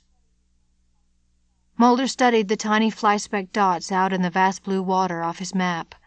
He circled the areas with his finger. I wonder why they're going way out here. The Marshall Islands are a U.S. protectorate, so I'm sure that has something to do with it. Could it be just to intercept the storm? Scully perked up, finally having a subject on which she could discourse. She forced herself to ignore the rocking turbulence as she added her own knowledge to the discussion. It probably has more to do with the track record of nuclear testing out there. The Marshall Islands chain is where most of the U.S. bomb blasts took place between 1946 and 1963. Hydrogen bombs and cobalt bombs, thermonuclear devices, everything too big to set off in Nevada. In fact, between 1947 and 1959, 42 nuclear devices were set off on these islands alone. The entire atoll of Eniwetok was like a hopscotch ground. Test detonations stepped from one clump of islets to another, vaporizing one lump of coral, then the next. The natives were evacuated, promised adequate compensation, but Uncle Sam never really came through for them. In fairness, nobody knew exactly what they were doing at the time, not even the weapon scientists. They made mistakes. Some bombs fizzled, others produced a much higher yield than expected. It's amazing to me how they just played with all that destructive potential. Mulder raised his eyebrows. You're sounding pretty passionate there. Is this a particular interest of yours? She looked at him, feeling her walls go up. Used to be. So what happened? he asked. With the testing, I mean. All the atmospheric testing of atomic explosives ceased in 1963 with the Nuclear Test Ban Treaty, but by that time over 500 nuclear weapons had already been detonated by the U.S. and various other countries. 500? Mulder said. Above ground? You're kidding, right? She took a deep breath. Mulder waited for her to continue. There's even been an off and on moratorium of underground testing, she said. The French and the Chinese and others have continued their own work, although they deny it. The French recently resumed testing out on some other islands near Tahiti, and they've sparked a firestorm of public opinion against them. With seismic surveillance and high resolution spy satellites, however, it's awfully difficult to mask the signature of a nuclear explosion. Ten to one, this approaching storm isn't just a coincidence, then. Mulder, she said, I think that's a safe bet. Anika Atoll, Marshall Islands, Friday, 4:11 p.m. The bowl of sky surrounding them was a muddy gray green with the approaching hurricane. The air itself had an ominous ozone crackle mixed with the salty iodine smell of the sea. The wind gusted in short, sharp breezes from random directions. In a sheltered bay farther down the rough shoreline, Scully spotted a small enclosed boat, the captain's gig, used to shuttle crew and materials from the Navy destroyer anchored in view farther out beyond the treacherous reef line. The Navy must be taking this test seriously, she said. That kind of destroyer isn't something to mess with. A trim young officer came directly towards them. You must be the FBI agents, he said, and stood rigidly in front of them. I'm First Officer Lee Clancy. I'll take you to meet Captain Ives. He's here to inspect the last minute preparations, though I believe he's going to observe the test from the Dallas. We received word from Brigadier General Bradukas in Washington that you'd be VIP guests, though we're all a bit mystified as to your presence here. This isn't an FBI matter as far as I can see. It dovetails with a pending investigation, Scully said. Oh, Clancy answered. We'll take you to the Bright Anvil control blockhouse and let you get on with whatever you need to do. Just try to stay out of the way of the test preparations. Everyone's pretty much going to be working around the clock until the blast goes off. The test is set for 5:15 tomorrow morning. That soon? Mulder said. No choice, Clancy answered as he continued briskly along the beach. Sand whipped around them, stinging their faces. That's when the storm is due to make landfall. The first officer led them to an unusual igloo shaped control bunker, to which all sorts of generators, air conditioning units, and satellite dishes had been linked. Scully could see many figures moving in and out of the blockhouse, checking generators and electrical connections. A man in a white captain's uniform saw them and waved to Clancy for them to come over. Agents Mulder and Scully, I'm Captain Robert Ives, he said, of the USS Dallas. Now then, I understand that you're here in regards to something unusual about the Bright Anvil test. General Bradukas was reluctant to give details. Is there something we should know about? Scully looked to Mulder, giving him a chance to recount the odd connections and the strange theory he had proposed, but he just looked back at her, not wanting to bring up the possibilities. We're just here to observe and gather a few details, she said. As you may already be aware, there have been several unusual deaths of individuals involved with this test. Just then, Bear Dooley came blustering out of the low door in the blockhouse blinking his eyes into the wind that blew his long hair and beard around his face. His eyes fixed on the two FBI agents, and his expression gathered a fury equal to the storm brewing around them. He had obviously been stewing about their arrival for some time. I don't know how you two got the authorization to come out here in this restricted testing site, Agents Mulder and Scully. I can't question it, and I can't send you home right now, unfortunately. He planted his hands on his hips. But get this straight from the start. I'm busy. We have a test to run and a device to set off early tomorrow morning. I do not have time to babysit two feds in suits. Dooley turned away from them and extended a flapping sheaf of papers towards Captain Ives. New weather projection from overhead satellite feeds, he said, exactly as expected. The hurricane center is only 200 miles out, and it's big enough that there's no chance it'll miss. No chance at all. We're in luck. Anika is going to be whomped tomorrow morning. We're in luck, Mulder repeated. Ives scanned the satellite projection and nodded. Wait a minute, Mulder said. Where is this nuclear device? Is it in one of the crates we flew out with, or is it already set up in the control bunker? Dooley gave a scornful laugh. Agent Mulder, you're not impressing me with your expertise. The blockhouse is supposed to be sheltered from a nuclear blast. Therefore, the device isn't going to be set up anywhere nearby. Logical? The chance to explain things seemed to calm the big engineer.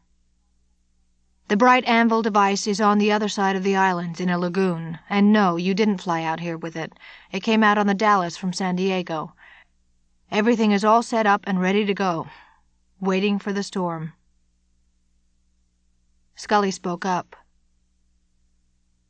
You've gone to a lot of trouble to make your preparations in secret, and you've taken great pains to select an island that just happens to be directly in the path of a major storm system.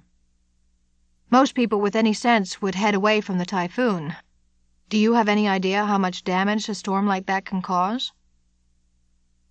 Dooley narrowed his eyes as if about to scold her for a stupidity. Then he let out a gruff laugh. of course I do, Agent Scully. Think about it. With all the damage the hurricane is going to cause when it strikes this island, who's going to notice a little more destruction? Anika Atoll, Friday, 6:21 p.m. The weight of the approaching storm felt like a psychological vice gripping Scully. Standing on the rough beach, she looked up at the blackening clouds at sunset, the eerie color of the storm sickened sky. One of the bright anvil technicians came running out of the blockhouse, looking flustered. Captain Ives, sir, there's an emergency message for you over the secure telephone line. Ives looked down at the walkie talkie on his hip, disconcerted that the message hadn't come to him directly. It's from the Dallas, sir, the technician said. The communication officer on the bridge wants to speak with you. All four of them ducked inside the claustrophobic blockhouse. Scully was glad to get out of the damp wind that made her skin crawl. Captain Ives went to a phone box that had been hastily bolted to a plywood wall inside the armored bunker. Ives here, he said, then listened intently. The expression on his face quickly sagged. What are they doing out in this weather? He waited for an answer. Okay. How far away? He waited again. And we're the only ones within range? He scowled. Hold on. He put his hand to the headset and looked at Dooley. We've just received a distress call, a fishing boat out of Hawaii, Japanese registry. They're in trouble from the typhoon, and the Dallas is the only ship in the vicinity. It's a general mayday, but they're requesting an urgent rescue. We can't ignore it. Dooley heaved a huge sigh. I think we should just leave them out there. Those bozos will get whatever they deserve for coming out here without checking their own weather reports. Mr. Dooley, it's the law of the sea to attempt a rescue whenever another vessel signals distress. It's a law by which I live, and I have spent my entire career on ships. That sort of thing doesn't change just because of your pet project. Dooley glared at him, but didn't seem to know what to do with his own anger. Well, Captain, at least find out who they are and what they're doing out here. These aren't good fishing waters. With a sigh, Captain Ives put the telephone to his mouth again. What's the name of the ship? he said. Find out their registry. As he waited for an answer, suddenly Ives' face turned white. Fukuryu Maru, he said. The Lucky Dragon? Scully put a finger on her chin, thinking. Lucky Dragon, she said. That sounds familiar. Wasn't that. Ives spoke into the phone. Acknowledge their transmission. Tell them we're coming to help. Prepare the Dallas for immediate departure. Ives hung up, then he looked at Scully, since she had been the only one to react to the name. You're thinking of another Japanese fishing boat with the same identification. The vessel that wandered too close to the Castle Bravo H bomb detonation on Bikini in 1954. The crew all received a huge dose of radiation. The incident caused quite an international scandal. Mulder perked up. And now a ship with the same name is straying close to the nuclear test? That can't be a complete coincidence. Scully turned and quickly interrupted his train of thought. Oh, no, you don't, Mulder. Don't even suggest that this is some ghost ship of irradiated Japanese fishermen coming back to stop the bright anvil test. Mulder held up his hands helplessly. I, I didn't suggest any such thing, Scully. I'd say you've got an overactive imagination. He frowned in feigned contemplation. Interesting idea, though. She turned to Captain Ives. Captain, I'd like to go with you out to that fishing boat. She looked at Mulder, asking with her eyes if he wanted to go along. No, thanks, he said. I'll stay on solid ground. I want to keep poking around here. Mulder turned to admonish her as she and Ives headed back out into the freshening wind. Be sure to wear your life jacket. Scully tried to stay out of the way on the bridge deck of the Navy destroyer. Captain Ives directed the helmsman to begin accelerating away from Anika Atoll and into the storm ragged water, following their charts to where the hapless fishing boat had gotten itself in trouble.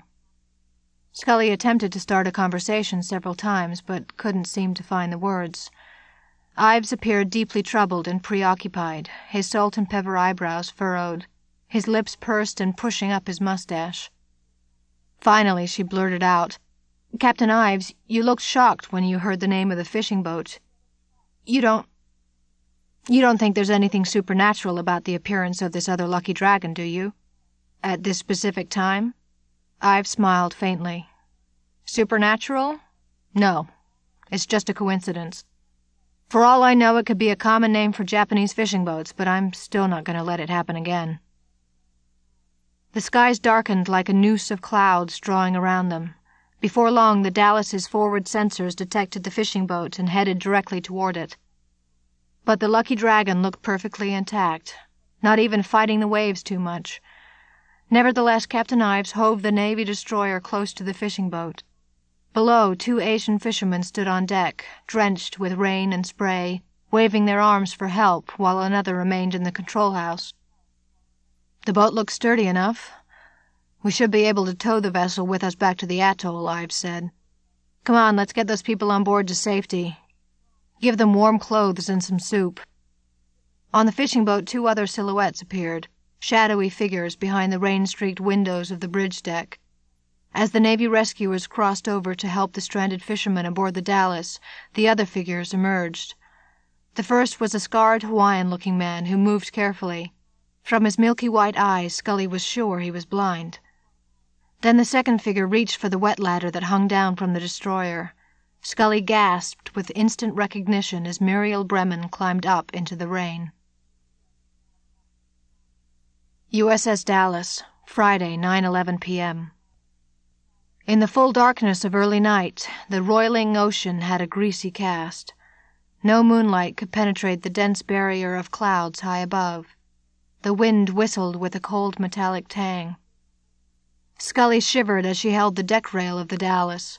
She watched the recovery operations on the Lucky Dragon as seamen swarmed aboard the rescued fishing boat. A team of strong young sailors, wet with spray and perspiration, assisted the three fishermen, the scarred blind man, and Muriel Bremen as they climbed to relative safety aboard the destroyer. Captain Ives stared in stunned amazement at the blind passenger, unable to tear his gaze from the blistered scars on the man's face. The blank look in his dead eye sockets as the refugee worked his way up the rattling ladder. He reached the deck seemingly impervious to the gathering hurricane force winds. The blind man slowly turned and faced Ives, exactly as if he knew the captain was staring at him. A faint smile rippled across his scarred face.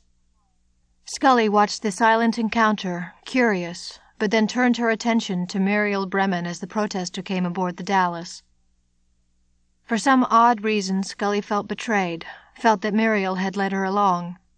Scully's stomach tightened with a sinking feeling as she wondered just what the other woman might have been up to. Muriel hadn't noticed her yet, and Scully spoke sharply into the sound of the wind and waves. You don't expect us to believe this is a complete coincidence, do you, Muriel? Surprised, Muriel Bremen turned toward the voice. Then her long chinned face compressed with sour anger. So, Agent Scully, it looks like you knew more about Bright Anvil all along. What a sucker I am. You were playing me for a patsy, seeing how much I would tell you. I should have known better than to believe an FBI agent. Captain Ives stood next to Scully, looking at Muriel's bedraggled form. You know this person? Yes, Captain. She's a radical anti nuclear protester from Berkeley. Ives gestured for several of the sailors to come over. Take them all below to one of the empty staterooms each. Get their names and make sure they're comfortable, but don't let them cause any trouble. Things might not be exactly what they seem. He turned sideways to glance at the blind stranger again. The other man stood rigid, with that faint, content smile on his scarred face. We'll contact Mr. Dooley and ask his opinion on the subject. One of the sailors called up from the deck of the Lucky Dragon. Captain Ives, sir? I think you should come down here. We found some interesting items on board that you may wish to inspect. I'd like to go with you, Captain, Scully said. They lowered themselves over the side and climbed down the slick metal ladder to the deck of the fishing boat lashed to the Dallas. One crewman came forward to meet Captain Ives and Scully. All systems appear operational, sir, the young sailor said, raising his voice into the roar of the ocean. No damage that I can see, nothing that should have caused them to send out such an urgent distress call. The ship wasn't in any trouble. Maybe they were just spooked by the storm, Ives said. Scully shook her head quickly. I don't believe they were in any distress at all, she said. They wanted us to go out and pick them up. It was the only way they could be certain of getting to the Bright Anvil test site. Captain Ives worked his jaw but said nothing. Another sailor popped his head out from below decks. Very unusual hull construction, sir, he said. I've never seen a small craft designed like this. She's practically armored, I'll bet there's never been a stronger ship this size built. Ives shook his head. Look at this equipment, the nets, all brand new. Those nets have never even been dropped in the water. It's all props, just for show. I think you're right, Agent Scully. Something goes deeper here. Another sailor emerged from the rear cargo compartment. No fish down here, sir. No cargo at all. Just a few supplies and one storage barrel. Storage barrel? Ives said. What's in it? I thought you might want to take the top off yourself, sir, just in case it turns out to be something important. Ives took a screwdriver from the sailor and popped the lid off. He froze. Nothing, he said. Just powdery dirt, black ash of some kind. Scully carefully reached in and touched the ash, bringing out a pinch between her fingertips. She smeared it around, feeling the greasy and grainy texture. It seemed identical to the residue in the small vial found in Nancy Scheck's pool. No, it's not from an incinerator, she said. But I think this provides direct, clear cut evidence that Muriel Bremen is more involved than she claims to be in the murders of Bright Anvil personnel. Anika Atoll, Saturday, 2:20 a.m. Later, when Scully returned to her own cabin for a brief rest, Captain Ives appeared at her door. Wonders never cease, he said, bracing himself against the door frame as the ship rocked. I finally gotten through to Bear Dooley on the atoll. I couldn't tell whether he was outraged or just hopping excited to learn that Muriel Bremen and her friends had come out here. So what did he ask us to do?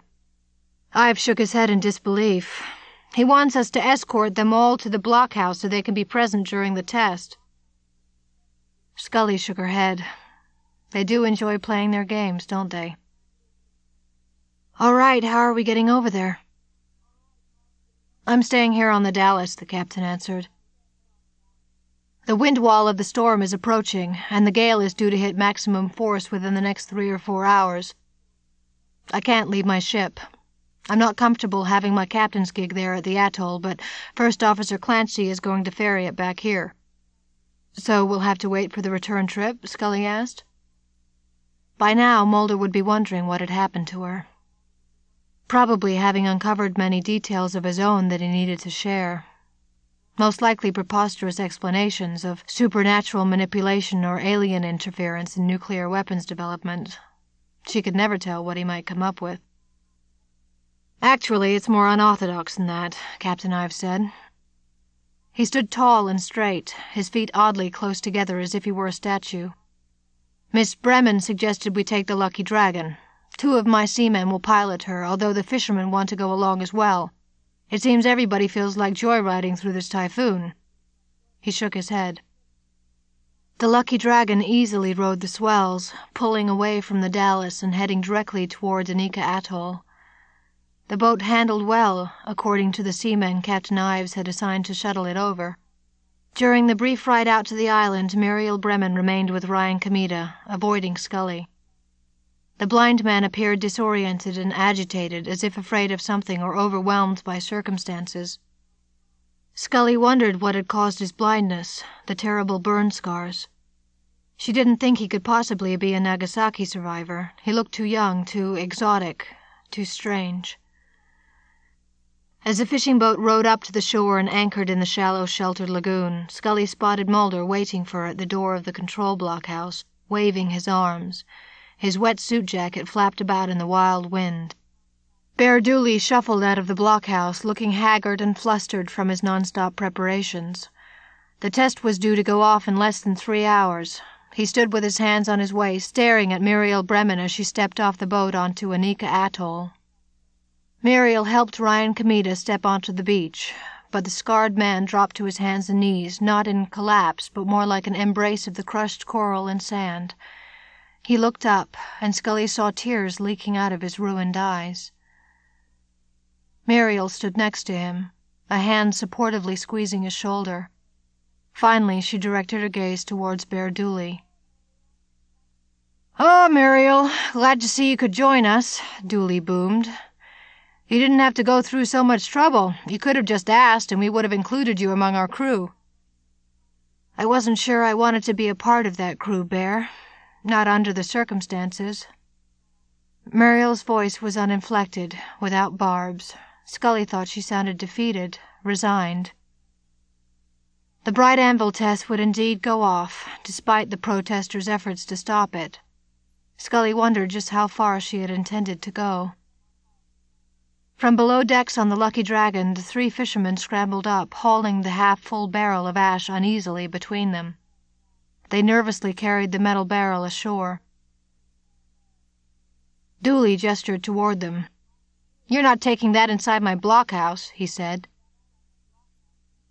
Ryan Kamita lifted his head and turned a tear streaked, burned face towards Muriel and then Bear Dooley. Let them leave it where it is. Relieved, the fishermen hurried into the shelter of the blockhouse, ducking from the onslaught of slicing rain. Muriel, why don't you come inside and I'll show you around our lush quarters, Dooley said. I'm sure you'll remember some of the things. Trying to rub my face in it, Bear? she asked. He blinked his small eyes. No, I don't think so, he said. Most of these engineers don't know what I'm talking about half the time, and you at least understand for old time's sake, for Emil Gregory. Come and take a look at Bright Anvil. Reluctantly, she tapped Kamita's shoulder, trying to get him to come along.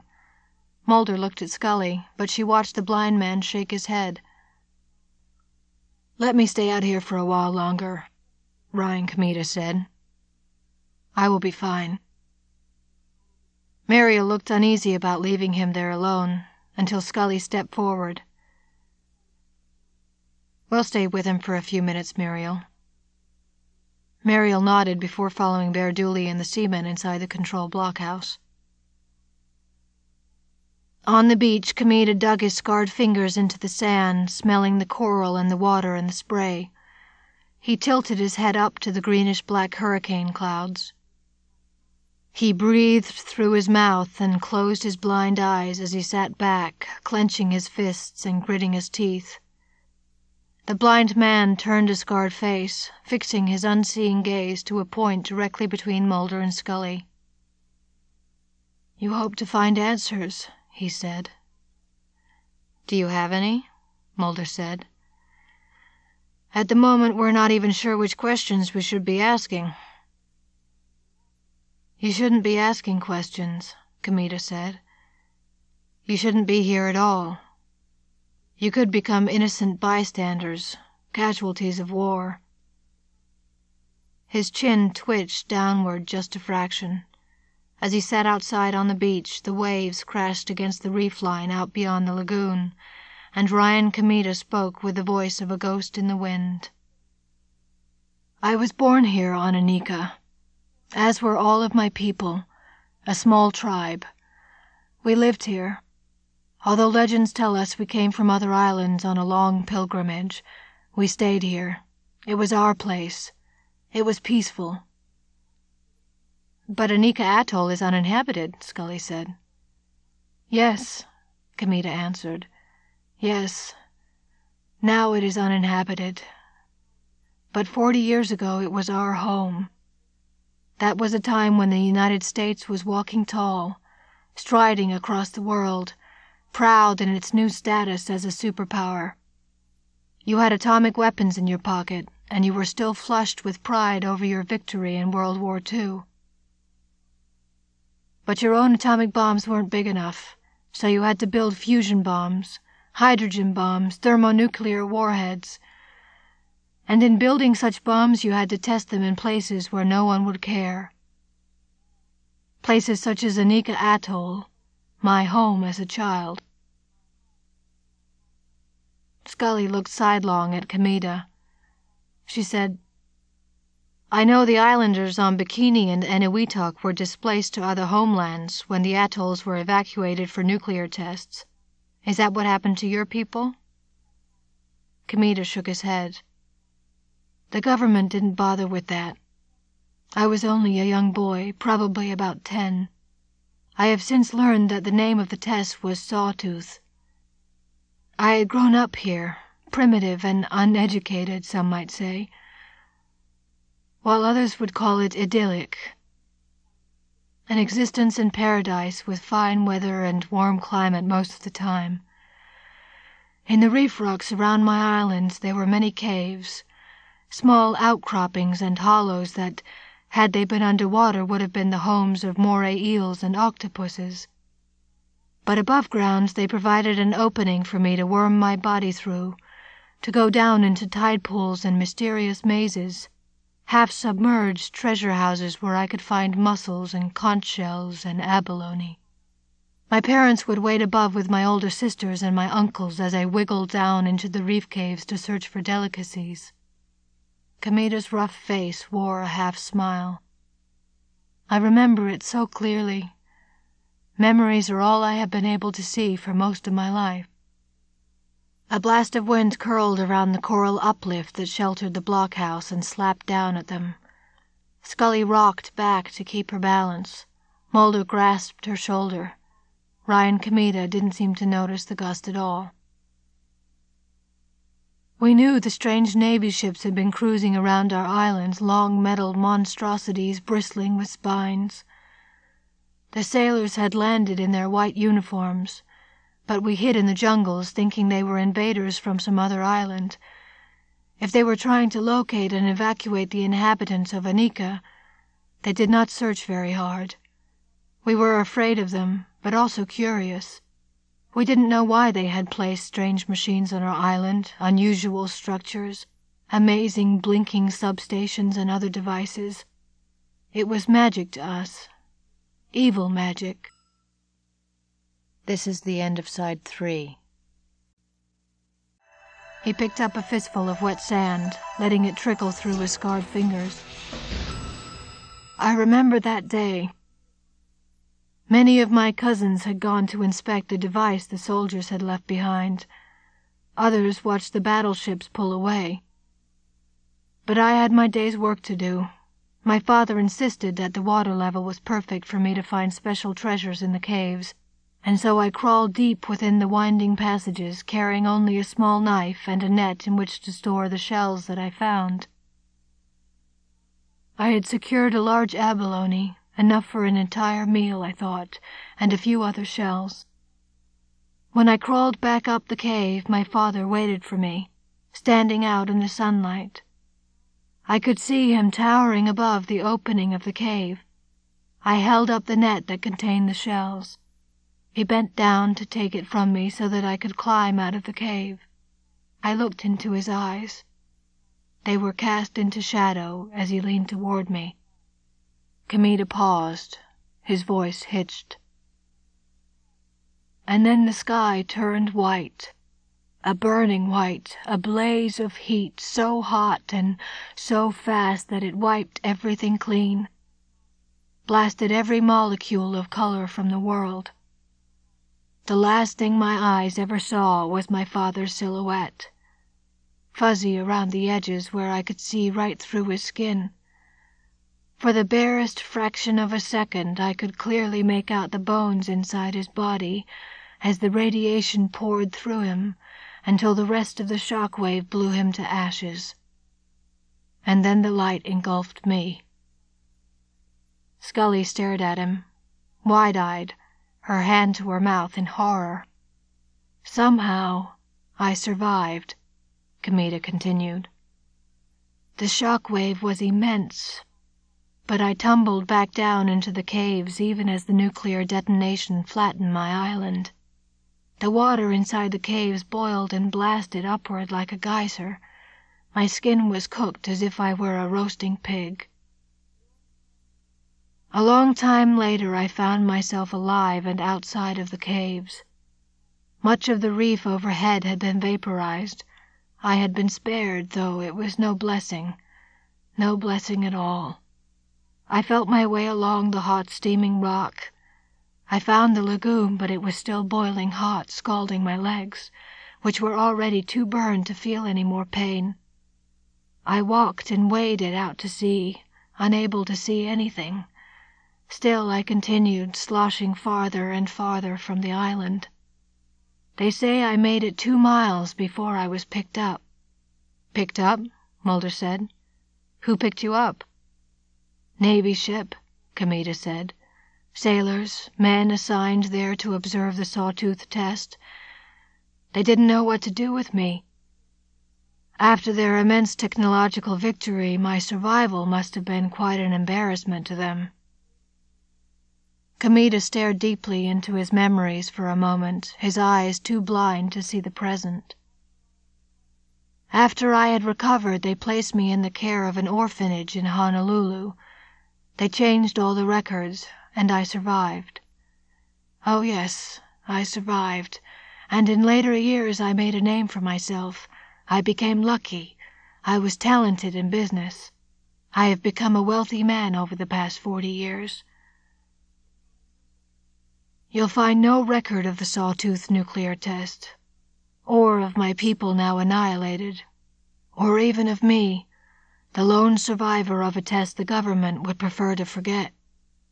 But if there's no record and you were such a young boy, Scully said, how did you get all of this information? How can you remember and be sure of the details? Kamita gave her a blind gaze that so unnerved her she looked away in embarrassment. His hollow voice sent a shudder down her spine. Because I've been reminded time and again. The spirits of my people they come and speak to me. They tell me not to forget them or my own past. Scully sighed and looked at Mulder, but he ignored her. In other words, your people were annihilated in this secret atomic bomb test, and because you're the only survivor, you can speak to their spirits? Scully stood up, ready to leave the man to his delusions. Mulder, we should get inside the shelter. Think of it, my friend, Kamita said to Mulder. The blind man seemed to know intuitively who was most likely to swallow his story. For four decades they have been gathering energy.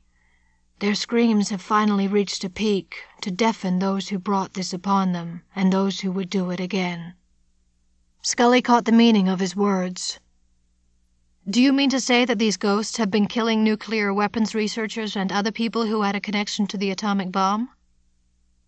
Agent Scully, Kamita said, I will confess that I bear the responsibility for the death of Emil Gregory. I had hoped that removing him would bring this test to a halt, but I was wrong. It was too simplistic. I was also responsible for the death of a Department of Energy executive, a woman behind the funding for the Bright Anvil project. Without her support, this test could not have taken place. But I have waited too long.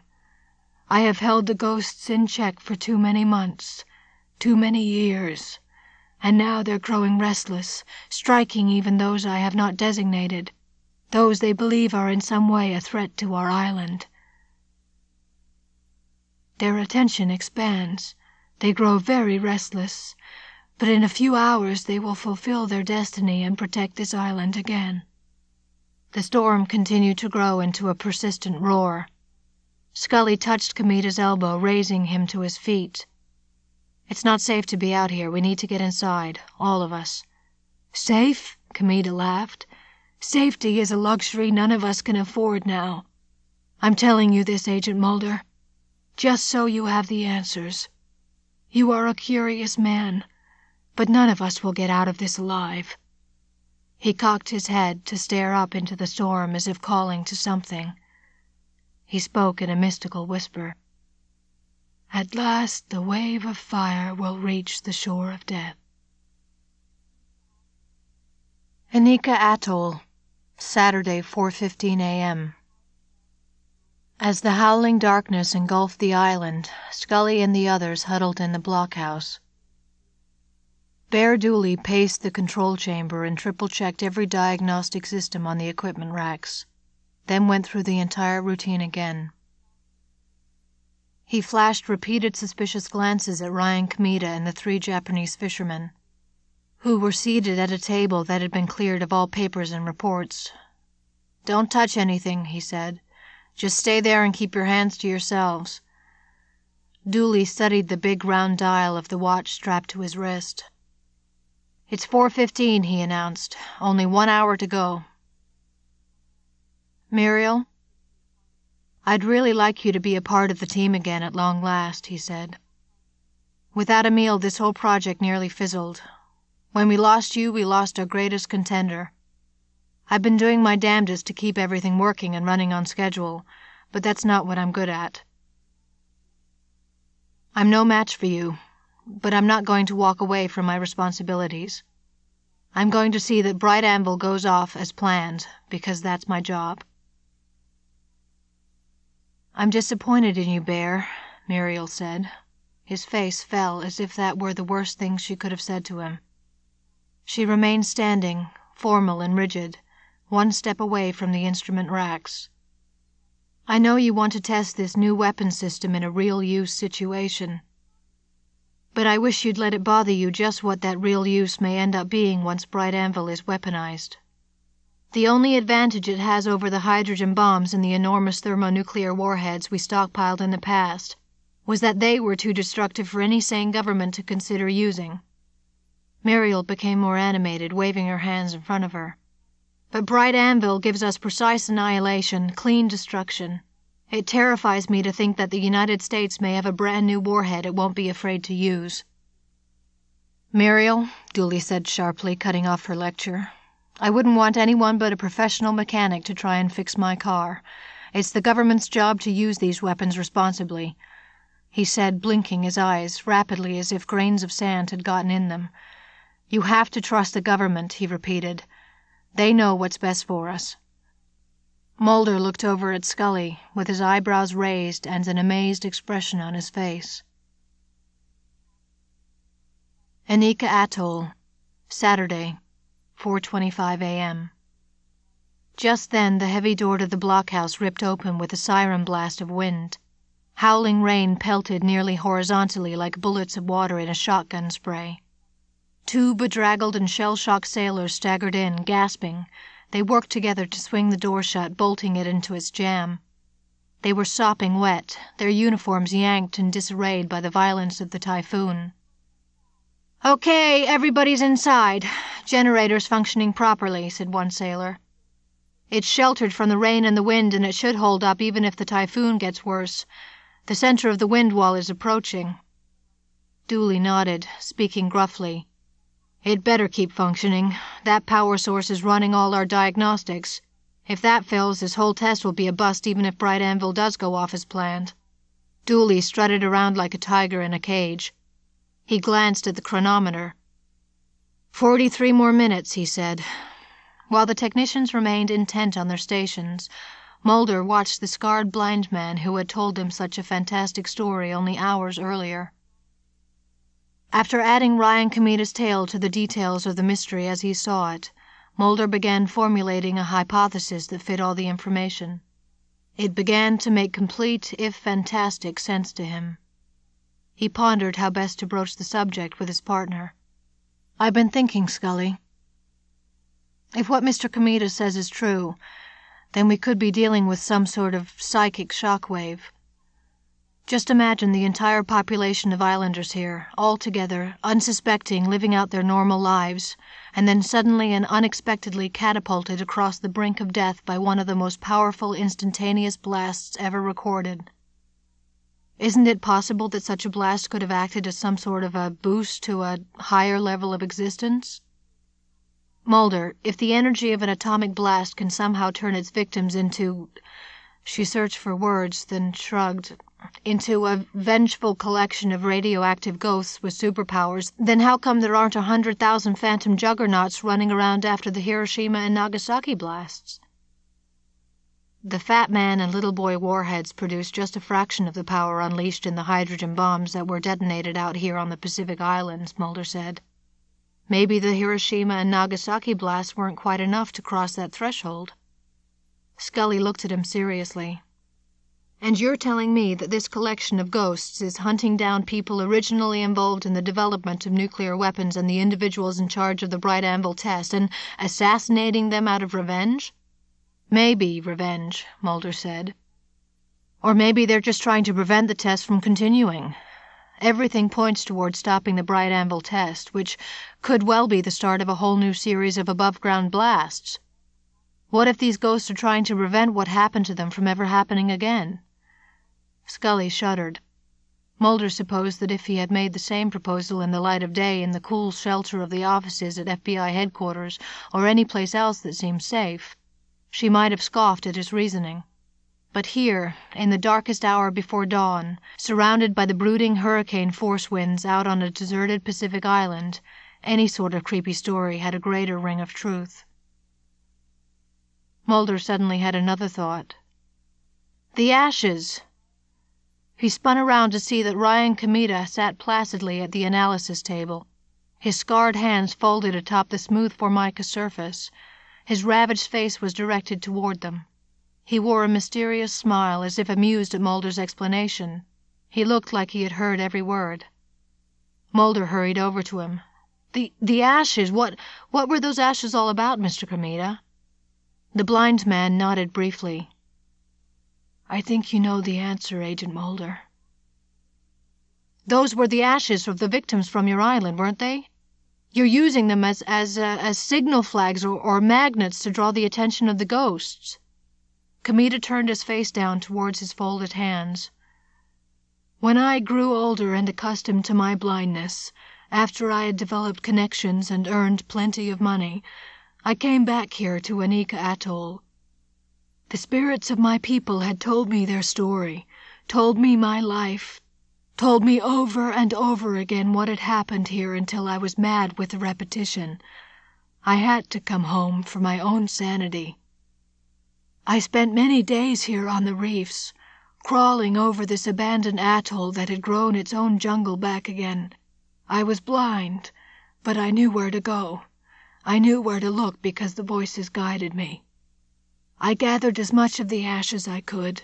It seemed a pitifully small amount, all that remained of an entire island population, but it was enough for my purposes and theirs. When I was ready I sent samples of the ash like a calling card to those people who needed to receive it." "And you sent a vial of that ash to Nancy Scheck?" Scully asked. Ryan Kamita nodded. "And to Emil Gregory. The spirits didn't really need the ash. Left to themselves they could find their own targets. But it helped, and it helped me to direct them." Mulder felt sick with horror. Nancy Scheck and the others received only a tiny vial of that ash, but you brought an entire barrel with you here to this island." "It is all I have left," Kamita said. "It will bring them all here." All of them. Finally. Just then the phone rang. Victor Ogilvy grabbed it. His eyes widened as he craned his head deep into the phone headset, as if he had difficulty making out distinct words from the transmission. Bear! Victor said, clinging to the telephone, staring at it with his mouth partially open. Bear, that was a communication from Captain Ives. He said their radar systems aboard the Dallas just picked up something big and powerful approaching the atoll. He didn't know what it was. It, it was like nothing he'd ever seen before. Victor swallowed, waving the phone headset. And then his transmission cut off entirely. I, I can't raise him. What the hell is going on here? Dooley bellowed. We've only got 35 minutes until detonation. We can't afford screw ups now. Then all of the power went out in the blockhouse, plunging them entirely into blackness. USS Dallas, Saturday, 4:30 a.m. Captain Robert Ives didn't know how he could possibly remain standing in the turmoil, but a captain wasn't supposed to fall on his butt on the bridge of his own ship, not even at the height of a typhoon. With his legs set widely apart, he rode the churning roller coaster of waves. Fists of rain pummeled the bridge windows, and the sickly greenish sky seemed filled with an unnatural light. He checked his wristwatch, knowing it couldn't possibly be dawn. Not yet. The eerie glow made his skin crawl. Ives had seen hurricanes before, and they had always seemed otherworldly, but none more so than this one. Wind wall levels reaching 115 miles per hour, sir, Clancy shouted from his first officer station. That's well beyond the maximum expected levels for this storm. Something's pumping it. How far away is the eye? Ives asked. We don't expect it to break through for another half hour, and then we'll get a little coffee break. For the time being, we just have to hold on. Already done, sir, Clancy said. How much longer till Bright Anvil goes off? Thirty-eight minutes, sir, answered one of the tactical crewmen. A foamy wall of water slammed into the side of the Dallas, making the entire hull ring like a struck gong. The battleship listed starboard, then slowly righted herself like a killer whale regaining its balance. Captain Ives held on, riding the motion. He was glad the Lucky Dragon was no longer tied to their hull. Captain, the tactical officer shouted, I'm picking up something on forward radar. There's. My God, I can't believe it. It's, it's so big. What is it? Ives said, swiveling around and nearly losing his balance. Give me details. The tactical officer remained at his station, peering down at the flickering screen. The thing is huge, and it has extremely high energy. It's it's heading this way. I don't understand these readings, sir. An electrical storm? A, a, a power surge?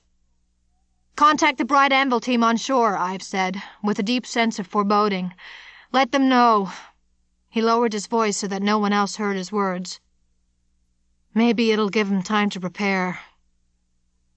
Ives whirled to look through the rain splattered bridge windshield. He saw a sickening, washed out glow across the waves, like a fire far out on the water. It reminded him of a miniature but extremely intense sunrise coming out of nowhere. There it is, Clancy said, pointing, as if Ives himself couldn't see. What is that thing? It's it's like an inferno. As the bridge crew watched, the wall of light grew into a spherical barrier that rushed towards them, brighter and brighter, even through the murky air of the hurricane. Ives had seen something very much like this several times at nuclear tests back in the 1950s. The light and the shape of an H bomb explosion was something he could never forget and now it came toward him again. Ives grabbed the hydrophone at his captain's station and punched the full ship intercom. All hands, brace for impact! The blaze of radioactive light hurtled towards them, riding the crest of a sharp boiling wave, a line of angry seawater that churned up and vaporized with the heat and force of a holocaust. Ives stood at his captain's station, staring helplessly out the window. He had no eye protection, but he knew deep inside his clenched stomach that nothing would make any difference at the moment. So he stared and kept staring as the force slammed into them. The last thing his eyes registered before his optic nerve surrendered to the onslaught was the sharp bow of his heavily armored Navy destroyer slumping, melting as the steel plate vaporized. Then the wall of light and fire swallowed the Dallas whole. Anika Atoll, Saturday, 4:40 a.m. In the sudden black chaos following the power outage in the blockhouse, Mulder grabbed one of the emergency flashlights mounted on the wall. He switched on the beam, hoping that its illumination would restore calm to the seamen and technicians there. Instead, he witnessed Bear Dooley and the other Bright Anvil engineers scrambling around, blindly trying to rescue their subsystems. Somebody get that generator restarted, Dooley roared. We'll lose all our data if it's not up in half an hour. But we just checked the generator, one of the bedraggled sailors said. It was working fine. Excuse me, Bear, Victor Ogilvy said, his thin voice quivering with anxiety. I don't think it's just the generator. This phone is battery powered and it had a full charge, but I can't raise the Dallas. I can't even get a whisper of static. It's dead. Everything's dead. All the control panels, all powered, not even our secondary systems. But what could drown out everything like that? Dooley asked. What sort of accident did this typhoon cause? No accident, Muriel Bremen said in a calm, strong voice. Bear, you know what can cause those effects. Dooley swung his head towards Muriel, his face open and trembling as uncertainty set in. I don't know what you're talking about. She looked squarely at him. Electromagnetic pulse, Muriel said. An EMP? But how? That that would require a He suddenly looked at the protester in horror. An airburst, a nuclear airburst, but what if somebody else was using this hurricane as a cover for another test? Oh my God, I can't believe it. Somebody else detonated a device. That's what Captain Ives picked up on his radar. Somebody else is stealing our show. It may not have such a facile explanation, Muriel Bremen said coldly. It may not be something you can understand at all, Bear.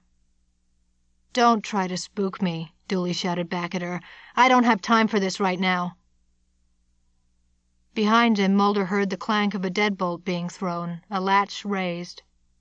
Then the heavy armored door to the blockhouse blasted inward, and the storm exploded inside the confined chamber. Papers flew into the air on a whirlwind.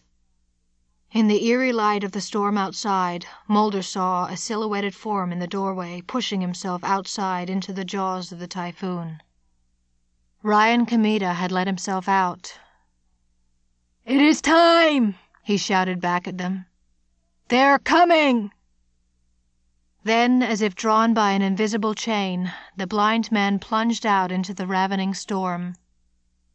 Ryan, no! Muriel Bremen screamed. Kamita turned back towards her for just a moment before the winds and the darkness swallowed him up. Don't just stand there, Bear Dooley squawked. Get that damn door shut! Muriel Bremen stared stricken at the doorway through which Kamita had just vanished. The other team members appeared nervous, but Dooley only scowled. Mulder watched as two Navy engineers wrestled with the heavy door, pressing their shoulders against it and shoving into the battering ram of wind. Silence fell like stone in the darkened control blockhouse. He was surprised to see Muriel Bremen standing rigid, holding on to one of the control racks for support. He thought she'd have argued to rescue her friend, but the protester said nothing, appearing resigned to his fate and terrified of her own. It's what he wanted, she muttered. The light of a second flashlight made a weird bobbing glow inside the blockhouse. Technicians scrambled to restore their equipment to get the backup generator jump started. How do we know the equipment out of that device is functioning? Victor Ogilvy asked, blinking owlishly in the shadows and harsh light. What if the countdown is frozen because of another dead battery? The EMP could have wiped out everything over there, too. We have no proof of any other electromagnetic pulse, Scully said. Dooley tugged at his hair in a comical gesture. The device itself has a completely different power source, hardened against all accidents, rough weather, and even handling by Navy personnel, he said. Bright Anvil is one robust sucker. Distraught, Bear Dooley rounded on Muriel, seeking a target to blame. This is your fault, Muriel, he said. You came to Anika of your own free will, and I welcomed you, but you've performed some kind of sabotage. What did you do to the generators? You've been trying to stop this test since the very beginning. I did nothing, Muriel said. Or maybe I didn't do enough. But we'll see. The bright anvil test will not take place, not this morning, not ever. It's out of my hands. We're all going to be obliterated, she muttered. The wave is coming, a flash fire, a wall of cleansing rage from the Anika ghosts. It's already hit the Dallas, and it'll be here next. Mulder went to her side. You knew about this? You knew it was going to happen? She nodded. Ryan told me it would. But I have to admit, she gave a short, bitter laugh. A good part of me never actually accepted it. But now it's all. It's all just the way he said it would be. She drew a heaving breath. At least Bright Anvil's going to be stopped, one way or another. All the test material will be wiped out of here, along with the project people. In the wake of this disaster, I doubt such a weapon will ever come about again. Her eyes wide, Scully looked at Mulder and then at Muriel. I can't believe what you're saying. You honestly think a cloud of atomic ghosts is going to come and stomp on the Bright Anvil test because they won't condone another nuclear explosion here? Muriel just looked at her without answering, and Scully let out a long breath of disbelief. She turned to Mulder in exasperation. I think that's exactly what's going to happen, Scully, he said, surprising her. I believe it. We're sitting ducks if we don't get away from here. The three fishermen from the Lucky Dragon stood up, looking extremely agitated. We don't want to stay here any longer, the leader said, waving his hands in front of him. This place is a death trap. It's a target. We're fools to stay in this place. A second fisherman pleaded with Mulder as if the FBI agent were in charge. We want to take our chances, get back on our boat. Scully said, You can't go out in a boat in the middle of a hurricane. It's safer to stay here. All three of the fishermen shook their heads vehemently. No, it's not safer. This place is death. Mulder said, You told me yourself, Scully, that their boat's been heavily reinforced, designed to withstand travel through a heavy storm. Muriel Bremen nodded. Yes, Ryan wanted to make sure we could make it out here. But I don't know if he had any intention of going back. I don't think so. Bear Dooley stormed around, still looking for something to break. Go on out in the storm, all of you, for all I care. Get away from me. We've got work to do. There's still a chance we can bring this test off. The device is on the other side of the island, and the countdown is going to proceed whether we get these diagnostics up or not. Mulder looked at Scully, and in his heart he felt an absolute certainty of what was going to happen. The fisherman went to the blockhouse door and worked the bolt to open it. Dooley stood ranting at them. You're all insane! Mulder knew that Scully probably agreed with him. Come on, Scully. Mulder gestured as he ran to the door. You've got to go with us. Mulder, no! she shouted, looking torn. The door finally blew open and the storm roared in, but the winds had already disturbed everything loose that could possibly blow around. Now, though, the voice of the whirlwind had a different quality, almost like human speech, wailing screams growing louder and coming closer. With the fisherman beside him, Mulder stood at the threshold, nearly blown back by the storm's force. He looked out at the awesome clouds that hung like sledgehammers ready to pound the island. He could see that far beyond just the brooding presence of the typhoon, something terrible, truly terrible, was coming their way. Scully continued resisting, until Mulder finally dragged her close enough to the door so that she could look out. She protested again until she stared into the night and looked up at the sky. Then all her objections evaporated on her lips. Anika Atoll, Saturday, 4:54 a.m. The storm spoke to him in its power. Dreadful voices for those others, welcoming whispers for him, at last. Ryan Kamita was part of them. A member of their spectral group, yet he was the misfit, not because he was blind or scarred, but because he was alive. He staggered away from the control bunker, bumping into winds that slapped him with the force of a catapult, driving him back, but still he ran. His feet slipped on the rough rock and sand that the gale flung around him like shrapnel. Kamita stumbled, fell to his hands and knees, felt his numb fingers digging into the cold, wet beach. He wanted to let it suck him down to draw himself into the sand to become one with the ashes of his people, a part of the scarred atoll. I'm here, he shouted. They were coming. High up on the beach, Kamita tripped over the barrel left there by the fishermen. Instinctively, unerringly, he had blindly found his way to the metal drum filled with the ashes of his family and his tribe. He embraced the barrel, holding on to it as if it were an anchor, sobbing as the hurricane roared around him. The eerie whispers and screams behind the wind grew louder and louder, drowning out even the storm in the congealing mass of clouds overhead. Ryan Kamita could feel the power growing in the accusing eye of the hurricane, a static electricity, a surge of energy. Though he was blind, he somehow knew that in the clouds around the island a searing light built to a screaming intensity, growing brighter as the countdown for Bright Anvil continued to zero.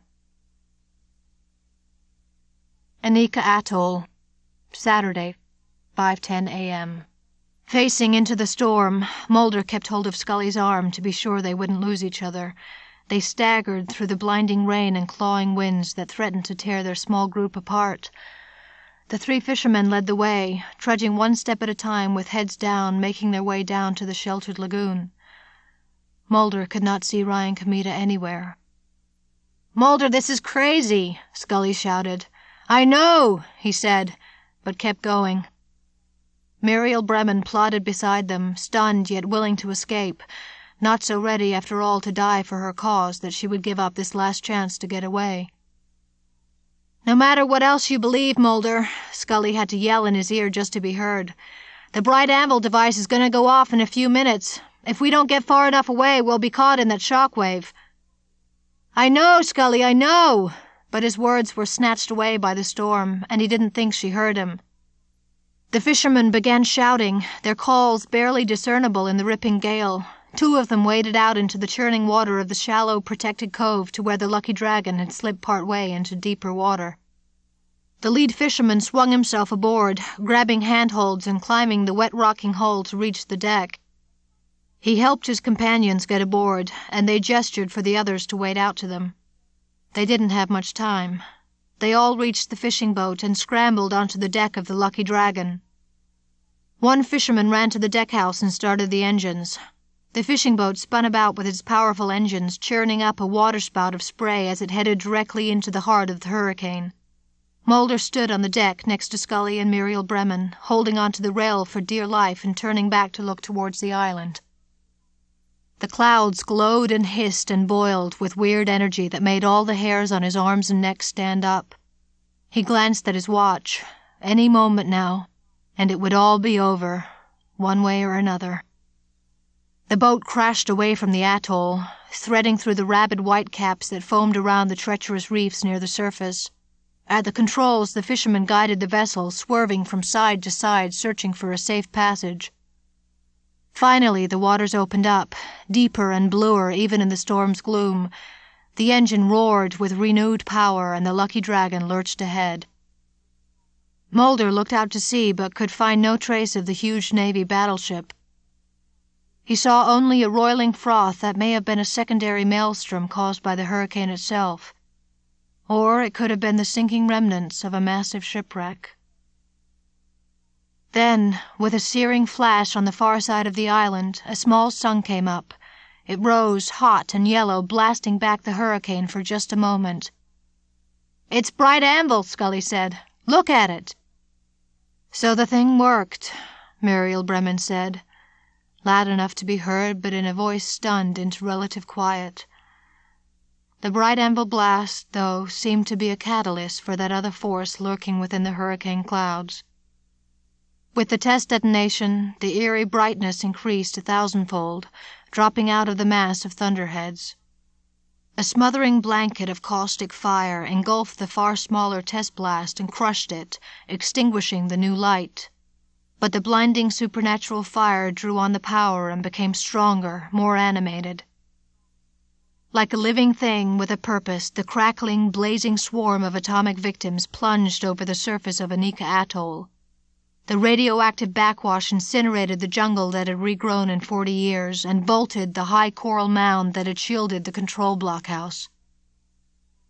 As the Lucky Dragon continued its race into the hurricane, the spectral blaze on the atoll reached a final pitch, and the bone chilling screams became more distinct in the wind. Then another voice joined theirs.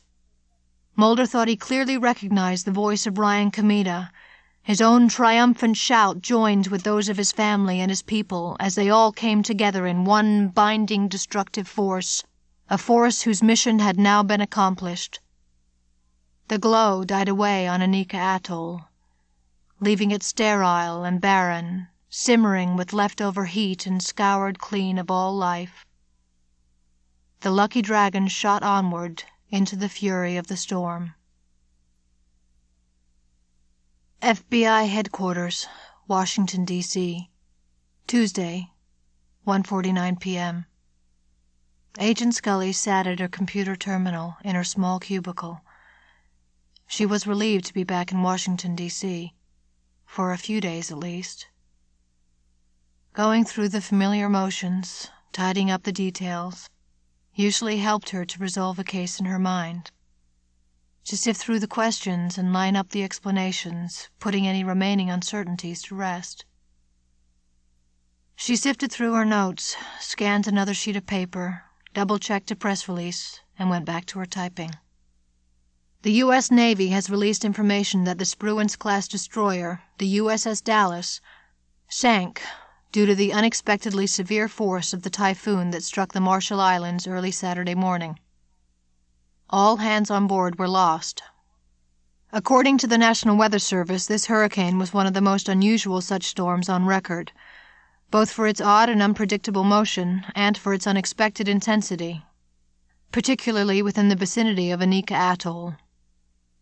Rescue teams arriving at Anika found no survivors among the members of the Bright Anvil team. No bodies were recovered, which the Navy notes is not surprising considering the incredible force of the storm. She paused to stare at the glowing screen, shaking her head. Curiously, DOE Representative Rosabeth Carrera at the Teller Research Facility released an official report that the team of scientists on Anika Atoll was conducting a hydrological survey of ocean currents around the reef. From my personal knowledge of these events, however, it is clear that the statement is blatantly false. I recommend that little credence be given to such explanations. I suspect more accurate details are available in certain classified files. After another long sip of coffee, Scully reread what she had written. She surprised herself with her open skepticism over the official story. That wasn't what the Oversight Committee wanted to hear. But Scully knew about Bright Anvil and the test, no matter who wanted to cover it up. She could not report otherwise in her write up. Scully sifted through her notes again and continued with her report. Assistant Director Skinner held open the door of his office. Come in, Agent Mulder, he said. Thank you, sir, Mulder said and entered the room. Framed portraits of the President and the Attorney General hung on the wall, staring down at him. This place held unpleasant memories for him. Mulder had been called on the carpet many times before for insisting on explanations the Bureau didn't want to hear. Skinner had often found himself in an uncomfortable middle position between a persistent Mulder and the shadowy string pullers who refused to be identified. You didn't get much of a tan in your travels, Agent Mulder. First to California, then out to the South Seas. I was on duty, sir, Mulder said. No time for sunbathing. Not during the typhoon, at least. Skinner looked down at the handwritten notes torn from Mulder's damp notebook. Mulder promised to type them up later when he got the chance. but the assistant director handed back the crumpled sheets of paper with a weary look on his face. Don't bother with a more formal report, Agent Mulder, he said. I can't submit this to my superiors. Then I'll write it up for my own use, Mulder answered, and I'll place it in an X file. That's your choice, of course, Skinner said. You realize you have no corroborating evidence for any of these explanations. Neither the Navy nor the Teller Research Facility accepts your scenario. As usual, you have handed me a report filled with wild speculation that is proof of nothing except your ability to concoct supernatural explanations for events that have rational causes. Maybe there aren't always rational causes, Mulder said. Agent Scully usually manages to come up with them. Agent Scully has her own opinions, Mulder said and while I respect her entirely as my partner and as an FBI field agent, I don't always agree 100% with her conclusions. Mulder pushed forward in the hard wooden chair. You must have contacted General Bradukas at the Pentagon, sir. He can corroborate many of the events that I've described in these notes. He knows about Bright Anvil. He knows about the ghosts. He sent me out there because he feared for his own life. Skinner fixed Mulder with a sharp gaze. General Bradukas has been reassigned, he said. He can no longer be reached for comment through the Pentagon, and his current whereabouts are classified. I believe he's participating in a new experimental test program. How convenient, Mulder said. And about this entire secret nuclear test this bright anvil you keep mentioning, I don't want to see anything about it in your official report, not even in your X file. Above ground nuclear weapons tests have been banned by treaty since 1963. I know that, and you know that, Mulder agreed. But nobody seems to have told the Bright Anvil team. Skinner shrugged.